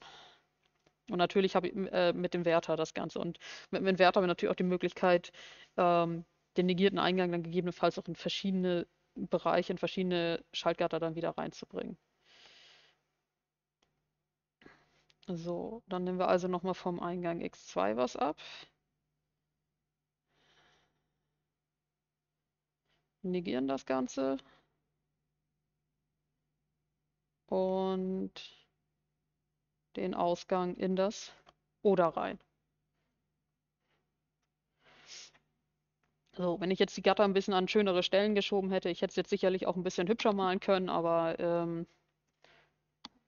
das jetzt von dem Aufbau des Ganzen. Ich hoffe, das gibt euch so ein bisschen einen Einblick, wie ihr da in eine Schaltung kommt. Also am besten einmal gucken, welche Eingänge habe ich, was brauche ich, wo, wo fange ich links auf jeden Fall an. Das ist safe, damit könnt ihr mal anfangen. Dann überlegt euch, wo muss ich am Ende eigentlich hinkommen was ist denn jetzt eigentlich das letzte Gatter, was ich irgendwie auf der rechten Seite habe? Ist es eins? Ist es, hat das einen Eingang? Hat das mehrere Eingänge? Ich hätte jetzt auch mehr, mit, mit, mit mehreren Oders das machen können. Dadurch, dass ich aber beim Oder ja auch mehrere Eingänge reintun kann, geht das dann auch entsprechend so. Und dann muss ich davor gucken, was habe ich da, ja, was habe ich da an weiteren einzelnen äh, Signalen, die ich mir zusammenbauen muss und welche Schaltgatter, die ich mir dann belegen muss. Habt ihr das soweit nachvollziehen können? Vielleicht auch gerne auch, auch im Chat, auch da einmal bitte eine Rückmeldung. Glaubt ihr, wenn ihr jetzt irgendwie so eine Formel habt, dass ihr es dann schaffen könnt, daraus ein, eine Schaltung zu bauen?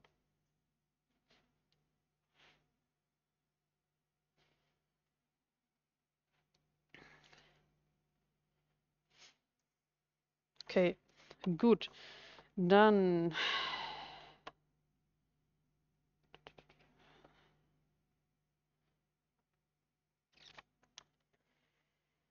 Dann brauchen wir zum Thema Schaltung einmal nochmal den Punkt aus Aufgabe 8 hier. Dort heißt es gegeben, also Analyse einer Schaltung. Und da machen wir quasi den äh, Schritt, dass wir ja erstmal eine Schaltung haben. Also 8.4 ist im Endeffekt die Aufgabe, wir haben eine Schaltung, wir analysieren sie, wir machen eine ähm, Funktionstabelle mit Hilfe von KV-Diagramm und, und, und, und, gehen dann in KV-Diagramme. Ähm, und wenn wir in den KV-Diagramm minimiert haben, dann haben wir ja eine Minimierung, die hoffentlich besser ist als die Ausgangsschaltung und deswegen würden wir dann wieder eine Schaltung bauen. Das ist so das, worum es im 8.4 geht. Eine Schaltung nehmen, analysieren, minimieren, neue Schaltung bauen. So, wie kann ich jetzt vorgehen, wenn ich eine Schaltung habe und ich will daraus eine Funktionstabelle haben? Also wenn wir erstmal die Funktionstabelle haben, das haben wir ja die ganzen Schritte danach, die haben wir eben einmal ja schon durchbesprochen. Das solltet ihr auch hinkriegen.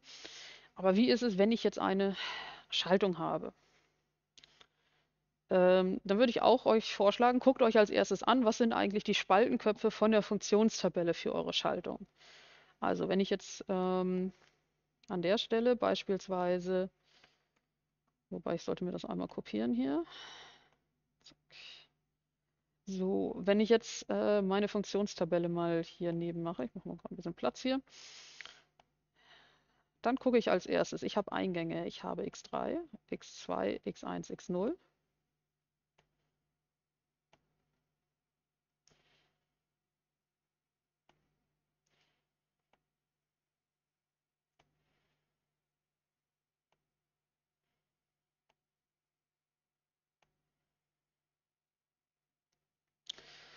Und ich weiß, ich habe auch einen Ausgang, aber ich habe dann ja noch Sachen auf dem Weg zum Ausgang. Also wir sind jetzt, im Endeffekt sind wir bei sowas wie bei 8, Aufgabentyp 8.4.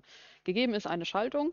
Und mal angenommen, wir hätten die DNF da oben links jetzt gar nicht. Und diese Schaltung wäre jetzt diese Schaltung, ähm, die wäre neu für uns. Das wäre eine Schaltung, die wir bekommen hätten. Das wäre jetzt vielleicht die, die wir analysieren sollten. Dann würden wir eben gucken, wir haben links die Eingänge, äh, die, die möglichen Variablen. Und ähm, wir haben verschiedene Schaltgatter auf dem Weg. Und man würde dann so ein bisschen halt schauen, was passiert eigentlich mit den ganzen Schaltgattern, dass man dann stückweise durchgeht. Äh, ich könnte sie mir benennen. Ich könnte sagen, das wäre Schaltgatter Alpha, ne, weil das ist nicht abhängig von einem anderen. Dann habe ich die Invertierungen hier.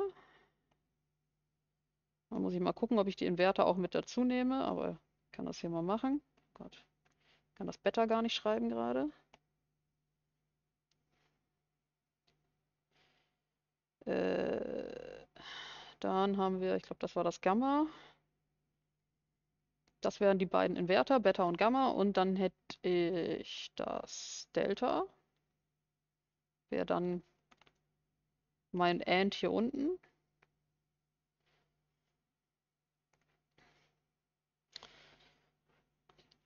Also das wäre ja so ein Punkt, weil ich dann hier sehen würde, dass das AND nicht einfach nur den Eingang direkt kriegt. Also das heißt, es reicht mir nicht einfach zu wissen, was hier der Eingang ist, sondern ich habe dazwischen noch ein Schaltsymbol. Inverter ist wie gesagt relativ einfach. Das kann man theoretisch, kann man das überspringen. Könnt ihr vielleicht auch direkt ablesen. Aber es geht eben darum, dass man meistens nicht einfach nur direkt aus einer Variablenbelegung und dem Blick auf eine Schaltung sofort sagen kann, ach ja, unter dieser Variablenbelegung ist der Ausgang der Wert. Ich glaube, die wenigsten werden das mal eben so machen können für eine Schaltung, wie sie in 8.4 ist, in der Aufgabe. Das ist ganz normal. Deswegen würde man dann eben schrittweise durchgehen und müsste halt eben überlegen, welches, welches Schaltgatter ist von welchem anderen abhängig. Welches müsst ihr euch angucken, bevor ihr überhaupt das nächste euch angucken könnt. Ähm, also zum Beispiel habt ihr, wenn ihr mal ins Aufgabenblatt guckt, da habt ihr ja oben zwei Schaltgatter, ganz oben im Aufgabenblatt. Und da habt ihr tatsächlich das, äh, das Schaltgatter oben in der Mitte, werdet ihr erst den, den Wahrheitswert bestimmen können, der am Ausgang da anliegt, wenn ihr das links davon gemacht habt. Geht einfach nicht ohne. Also ihr müsst erst wissen, was aus dem links rauskommt unter den unterschiedlichen Variablenbelegungen, damit ihr wisst, was dann rechts passiert. So, dann müsst ihr euch halt eben angucken, in welcher Reihenfolge könnt ihr Aussagen treffen über die Variablenwerte. Falls ihr euch bei der, falls ihr euch da irgendwo zwischendurch hier mit, also es ist dann einfacher, meistens die irgendwie zu durchzunummerieren, also entweder mit dem griechischen Alphabet durchnummerieren oder meinetwegen auch irgendwie mit Zahlen nach Motto Schaltgatter 1, 2, 3, 4, 5. Ähm, bis ihr dann am Ende irgendwo an dem Ausgang seid. Ich könnte jetzt hier noch ein Epsilon an das Oder schreiben Brauche ich aber nicht unbedingt, weil das der Ausgang vom Epsilon ist ja schon mein Ausgang a. Das heißt, ich würde jetzt in meine Funktionstabelle folgende Spalten ergänzen. Einmal für das Alpha, weil dafür brauche ich keine anderen Schaltgatter vorher. Dann für das Beta. Äh, dann für das Gamma. Und fürs Delta.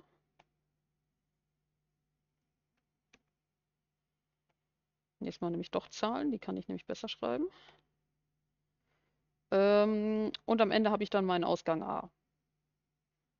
Was nichts anderes ist als das, was am Ende aus dem Oder rauskommt. Und ich würde dann hier die Funktionstabelle genauso wie hier, äh, wie eben auch aufstellen. Ich muss alle Variablenbelegungen einmal durchprüfen. Das heißt, ich würde mit 0, 0, 0 anfangen und gehe halt dann bis äh, bis zu 1111.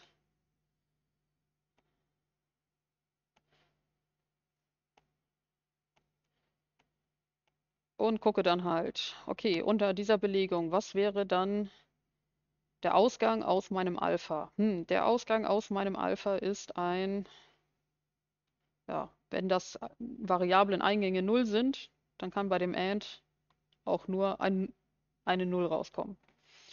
Würde mir Beta angucken, es kommt eine 0, raus, äh, 0 in den Eingang. Das heißt, ich habe am Ende eine 1, weil ich ja die Negation habe. Hinter dem Gamma das gleiche auch, ist ja auch der Inverter. Und dann gucke ich mir hier Delta an. Delta ist das und und das kriegt den Wert von dem Beta und dem Gamma. Das heißt, ich brauche jetzt gar nicht mehr hier links irgendwas angucken. Alles davor ist jetzt irrelevant. Das Einzige, was für das Delta relevant ist, ist, was ist bei Beta und bei Gamma rausgekommen. So, Beta und Gamma haben den Wert 1. Das heißt, bei meinem AND wird am Ende auch eine 1 rauskommen. 1 und 1 ergibt 1. Das heißt, ich bin jetzt schon bei meinem großen Oder, beziehungsweise am Ende ist dann ja auch das Ergebnis der Ausgang A. Hierfür muss ich mir verschiedene Sachen angucken. Und zwar, wenn eine der vier Leitungen hier den Wert 1 hat, dann wird auch mein Ausgang A 1 sein. Entweder muss x3 1 sein, ist es nicht. Oder Alpha muss 1 sein, ist es nicht. Oder x1 muss 1 sein, ist es auch nicht. Oder Delta muss 1 sein. Ah, ist es. Das heißt, aus dem Oder würde eine 1 rauskommen und damit in den Ausgang A würde auch eine 1 gehen. Auf die Art und Weise kann ich halt ganz strukturiert, ohne, ohne dass ich das alles im Kopf machen muss. Also, ne, wer, wer gibt bestimmt Leute, die sind richtig gut und können eine Schaltung, wenn sie nicht zu komplex ist, sehen und können das alles im Kopf machen und alle Schaltgatter auf einmal gucken, gucken einmal links und wissen dann für eine Variablenbelegung, was dann das Ergebnis ist. Okay, mag sein, dass es solche Leute gibt, aber ansonsten macht es einfach Schritt für Schritt. Und das, was dann nämlich wichtig ist, ist, dass ihr dadurch dann eine Funktionstabelle habt. x3, x2, x1 ist 0. Ist genau wie die Funktionstabelle, die wir eben hatten.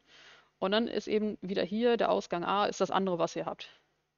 Und was haben wir? Tada, wir haben für eine Schaltung eine Funktionstabelle für verschiedene Variablenbelegungen mit einem Ausgang. Daraus könnt ihr wieder ein KV-Diagramm machen. Das könnt ihr minimieren. Und dann sollt ihr in 8.4 aus der Minimierung nochmal die minimierte Schaltung bauen. Puh. Nachvollziehbar?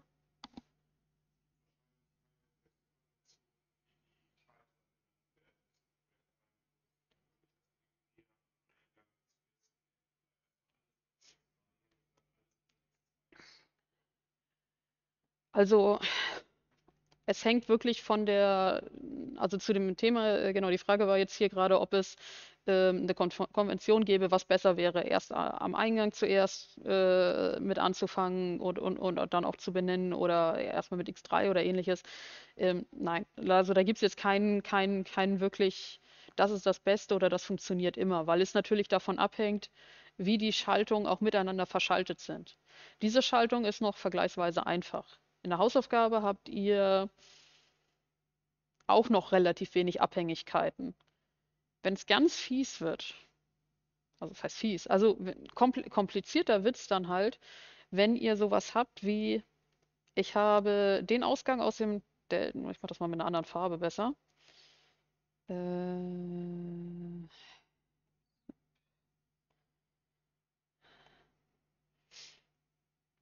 Was wäre denn, wenn der Ausgang aus dem Delta, wenn der hier reingehen würde und gleichzeitig der Ausgang aus dem Alpha hier reingehen würde? Und die anderen, die dafür reingehen, jeweils nicht. Ne? Dann, dann, dann fängt es halt an, dass ihr wirklich genau gucken müsst, was geht in welcher Reihenfolge. Über was könnt ihr in welcher Reihenfolge überhaupt eine Aussage treffen. Ähm, und bevor da jetzt irgendjemand das zu Hause durchrechnet, so wie ich es gerade gezeichnet habe, ich weiß jetzt nicht, ob man damit eine Lösung so findet oder ob man sehr viele Unbekannte dann drin hat. Also bitte damit dann nicht so ewig lange aufhalten.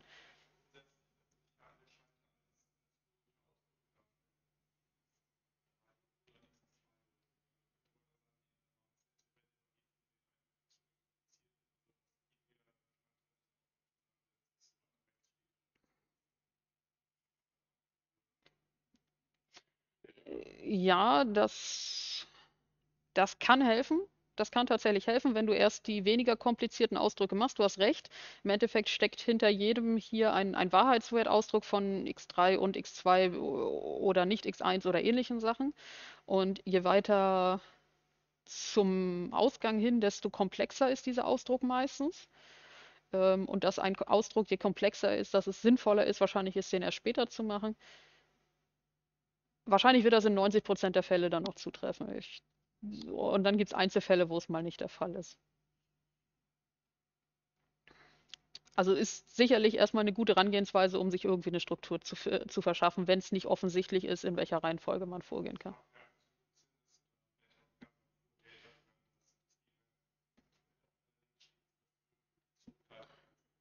Genau, also vom Gedanken her immer zu gucken, was ist, was so von, von links nach rechts, wenn es irgendwie geht, ist würde ich es immer erstmal anfangen. Ähm, genau, ich hätte stattdessen, das stimmt auch, ich hätte jetzt statt Alpha, hätte ich halt auch schreiben können, das ist x2 und was ist x2 und x0. Das wäre auch eine korrekte Beschreibung natürlich gewesen in der Funktionstabelle. Führt aber dazu, dass meine Funktionstabelle immer größer und breiter wird.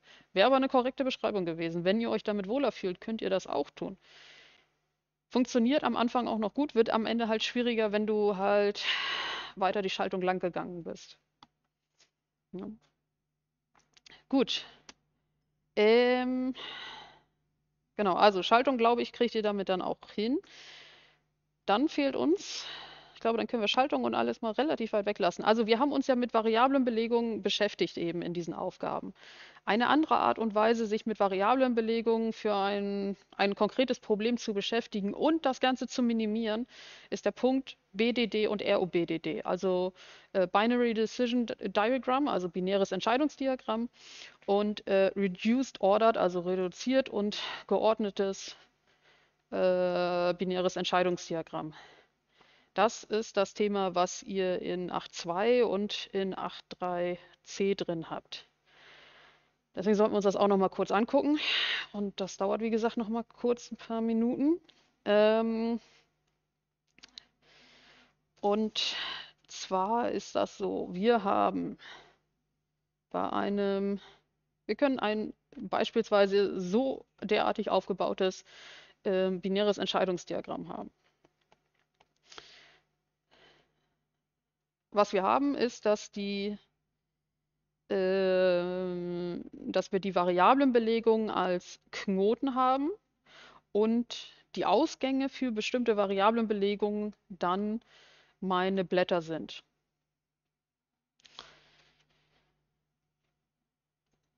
Wenn ich jetzt einen äh, binären Entscheidungsbaum habe, dann kann ich daraus eine Funktionstabelle theoretisch direkt ableiten oder direkt mir runterschreiben. Also weil das hier sagt mir ja nichts anderes auch, als ich gucke, ähnlich wie mit der Codierung. Wir hatten ja das, wir hatten ja auch schon mit Codierung hatten wir ja auch mal so einen Binärbaum, wo wir dann mit Nullen und Eins durchgegangen sind. Und ich könnte jetzt, wenn ich hier eine Funktionstabelle hinschreiben würde und ich würde anfangen mit 0, 0, äh, genau, ich habe jetzt nur hier die Variablen von 0 bis 2 für mein Beispiel. Und wenn das jetzt meine Funktionstabelle wäre mit der Wertebelegung, ich würde 0, 0, 0 haben, dann könnte ich gucken, x0, 0, x1, 0 und x2 ist auch 0. Okay, dann ist mein Ausgangswert 1. Das kann ich dann hier aus dem ganz linken Blatt ablesen. Und so kann ich dann aus einem BDD halt auch direkt meinen äh, Entscheidungsbaum ablesen. Äh, Quatsch, aus meinem BDD die, die Funktionstabelle ablesen. Ähm, Jetzt müsst ihr mal gucken, in welchem Moment ihr da eventuell eine Funktionstabelle machen sollt oder nicht. Was wir haben in 8.2, so bevor ich gleich irgendwas Wichtiges überspringe, lass mich kurz gucken. Genau, in 8.2 soll nämlich zuerst die, äh, der ROBDD gemacht werden, also die Minimierung eures BDDs. Die Idee ist, dass ich doppelte Knoten und Verbindungen streiche. Also wenn ich etwas habe und ich komme, ähm, ich komme in meiner Entscheidung zu meinem Blatt auf zwei unterschiedliche Arten genau gleich. Also ist nach dem Motto, es ist egal, ob ich jetzt die Entscheidung über 0 oder 1 treffe, dann äh, darf ich den ganzen Knoten quasi rauslöschen und das Blatt eine Ebene höher schieben. Das ist das, was ich an der Stelle machen darf. Hat das jemand verstanden? Sieht das vielleicht jemand in diesem BDD, an welcher Stelle ich das machen dürfte? Also wo ist es so, dass ich ähm, auf das gleiche Ergebnis in den Blättern komme. Und zwar egal, ob ich jetzt den Weg über Entscheidung 0 oder Entscheidung 1 gehe.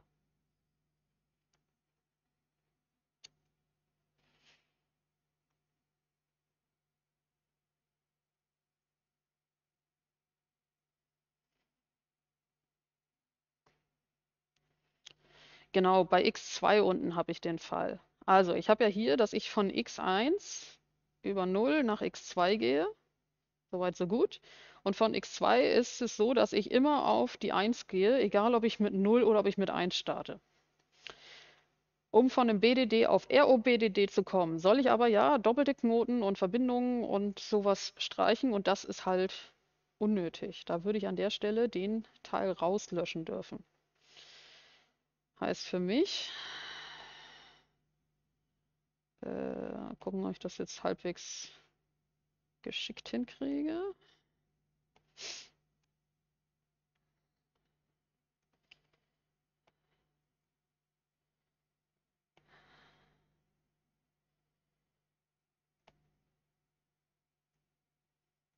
Hm.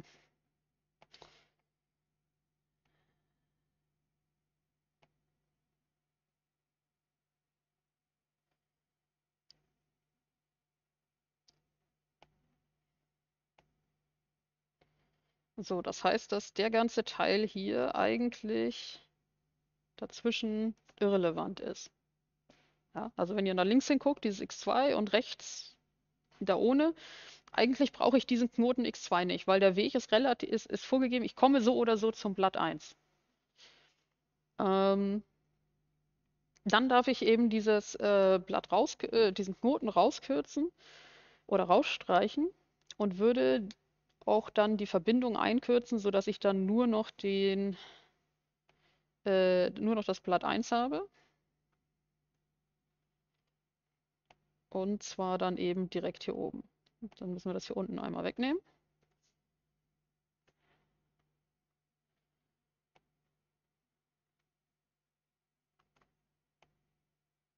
gut, dann machen wir es halt so.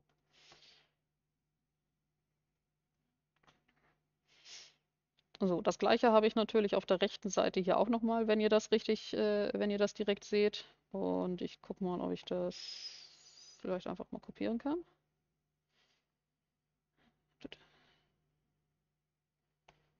Ja, geht's natürlich noch nicht.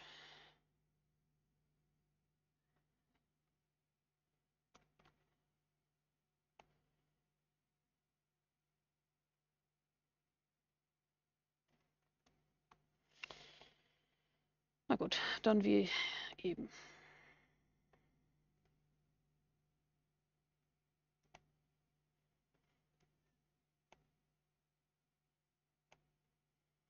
So.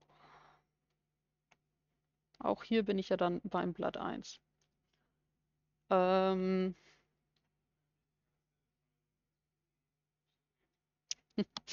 Die Entscheidung oben, ja.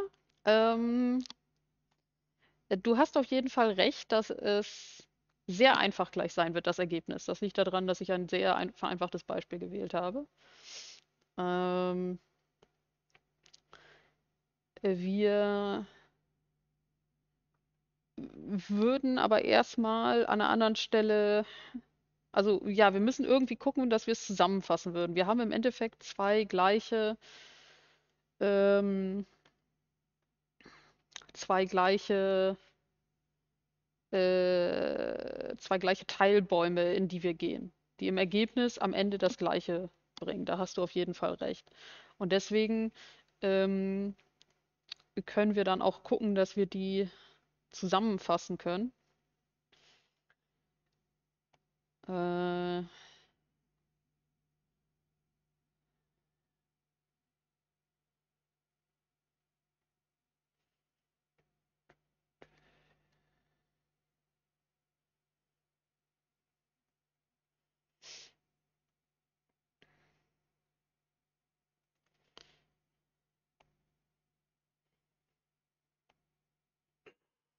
Genau, sodass wir am Ende eigentlich nur Wäre wahrscheinlich einfacher, wenn ich nur den Teilbaum kopiere.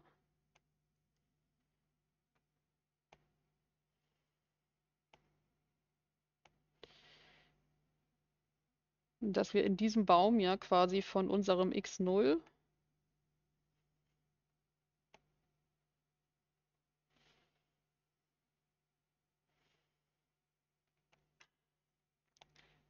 egal ob bei 0 oder 1 bei der Entscheidung, also immer auf das x1 gehen würden und dort dann die weitere Entscheidung ist. Heißt aber, dass die Entscheidung, wie du eben gesagt hast, wie du richtig gesagt hast, die Entscheidung mit dem x0 obsolet ist an der Stelle ähm, und für unseren Baum dann entsprechend dann auch nicht, nicht mehr relevant wäre, sodass dann am Ende rausgekürzt unser Baum, also wieder ne, diese ähm, unnötige Entscheidung da auch rausgenommen oder diese doppelte Entscheidung rausgenommen, äh, auf dem x1 am Ende landen würde. So, und wenn ich jetzt hier raus anfangen würde, also jetzt bin ich halt, ja, das ist tatsächlich bei einem sehr, sehr vereinfachten ROBDD. Ähm, in der Hausaufgabe werdet ihr natürlich nicht so weit runtergebrochen das Ganze kriegen. Wenn ihr das Ganze habt, dann eben die Funktionstabelle. Wie gesagt, einfach einmal äh, gucken. Ähm, ihr müsst da einmal schauen, um welche Variablen es geht. Also ihr habt eine Funktion x2, x1, x0. Ihr seht zwar aus dem ROBDD, dass ihr nachher dann weniger braucht in der Entscheidung, aber ihr müsst natürlich gucken, was macht ihr was habt ihr mit Variablen, mit denen ihr gestartet habt? Und zwar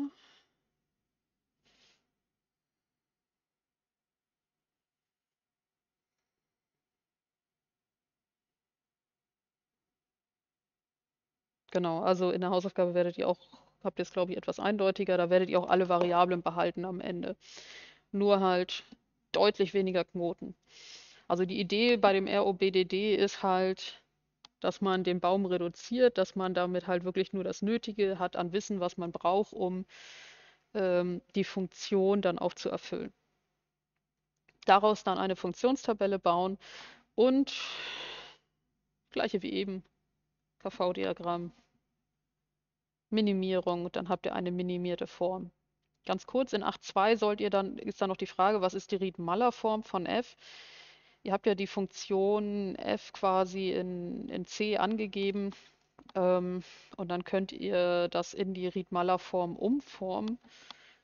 Ähnlich wie wir es letztes Mal gemacht haben mit Riedmaller-Form Umformungen, wobei da haben wir ja aus äh, einer Formel, wo wir noch and und or drin hatten, hatten wir dann ja geguckt, dass wir das nur noch in Riedmaller Form haben.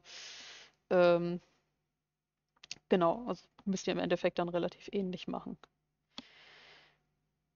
Das ist eigentlich äh, auch schon alles für 8.2. In 8.3 wird jetzt gesagt, zeichnen Sie ein ROBDD der Schaltung. Ähm,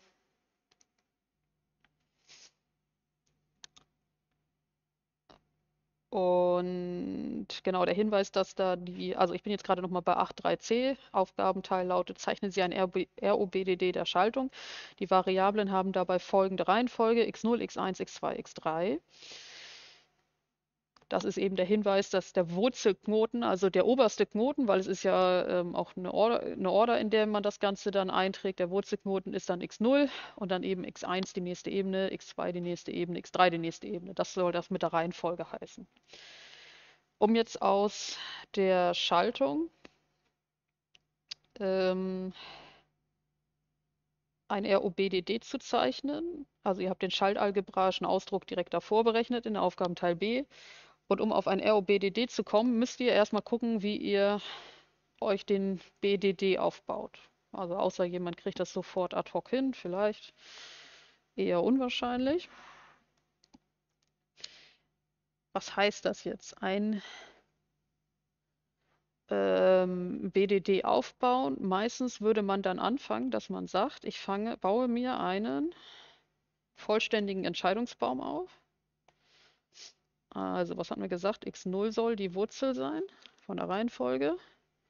Dann gibt es ja die jeweiligen Entscheidungen hier mit 0 und 1. Nächste Ebene hat dann hier das x1.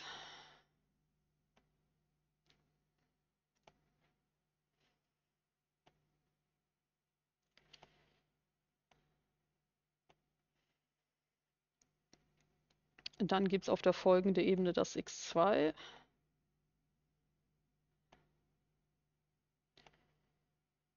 So, das müsste ich dann natürlich hier auf der Entscheidungsseite genauso weiterführen und ich müsste das hier weiterführen auf der rechten Seite und so weiter und so weiter, bis ich dann hier,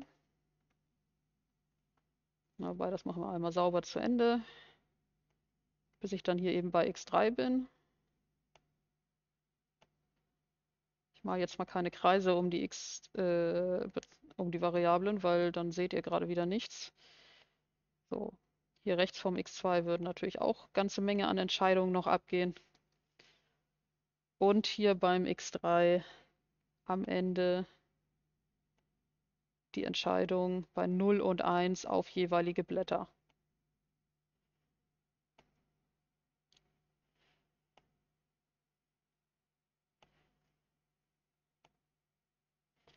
Ja, also ich würde erstmal einen kompletten Entscheidungsbaum aufbauen mit allen Möglichkeiten.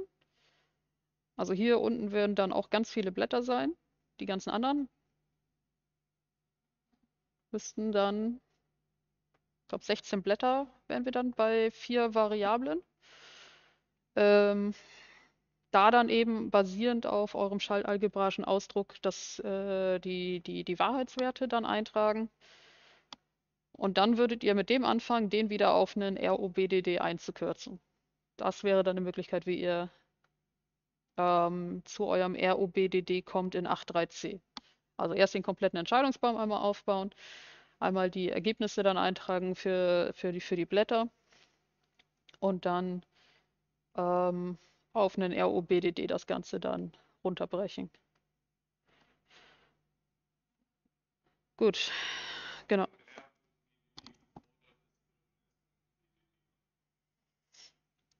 Ähm, ja, auch wenn ein ROBDD gefordert ist, würde man an der Stelle eher mit dem BDD anfangen. Einfach weil du musst irgendwie ja zu deinem ROBDD kommen. Und ich glaube nicht an der Stelle, dass man mal so eben.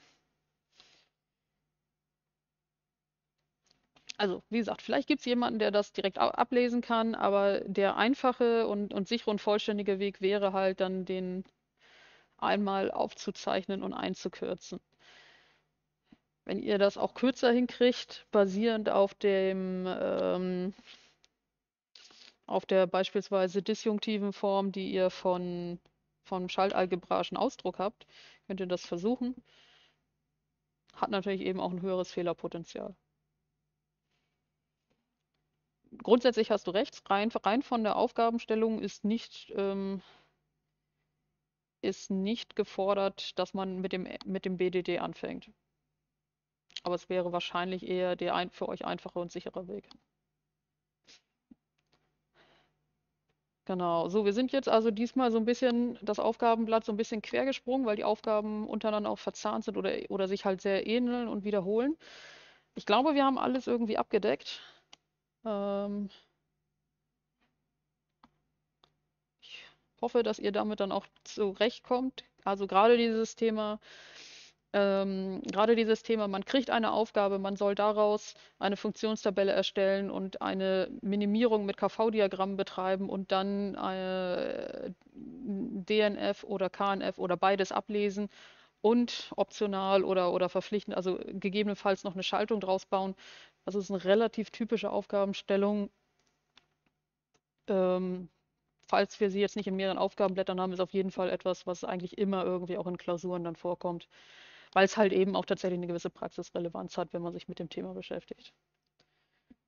Genau, dann würde ich sagen, äh, wünsche ich ein, eine schöne Woche. Denkt dran, die, die jetzt dabei sind, die es mitkriegen oder die es noch rechtzeitig sich angucken, die Aufzeichnung, äh, dass die S-Bahn ab heute Abend streikt, dass ihr nicht morgen irgendwo hängen bleibt. Informiert euch vorher, wie ihr ja, dahin kommt, wo ihr hinkommen müsst, falls ihr irgendwo hinkommen müsst. Ansonsten eine schöne Woche und gegebenenfalls bis nächste Woche.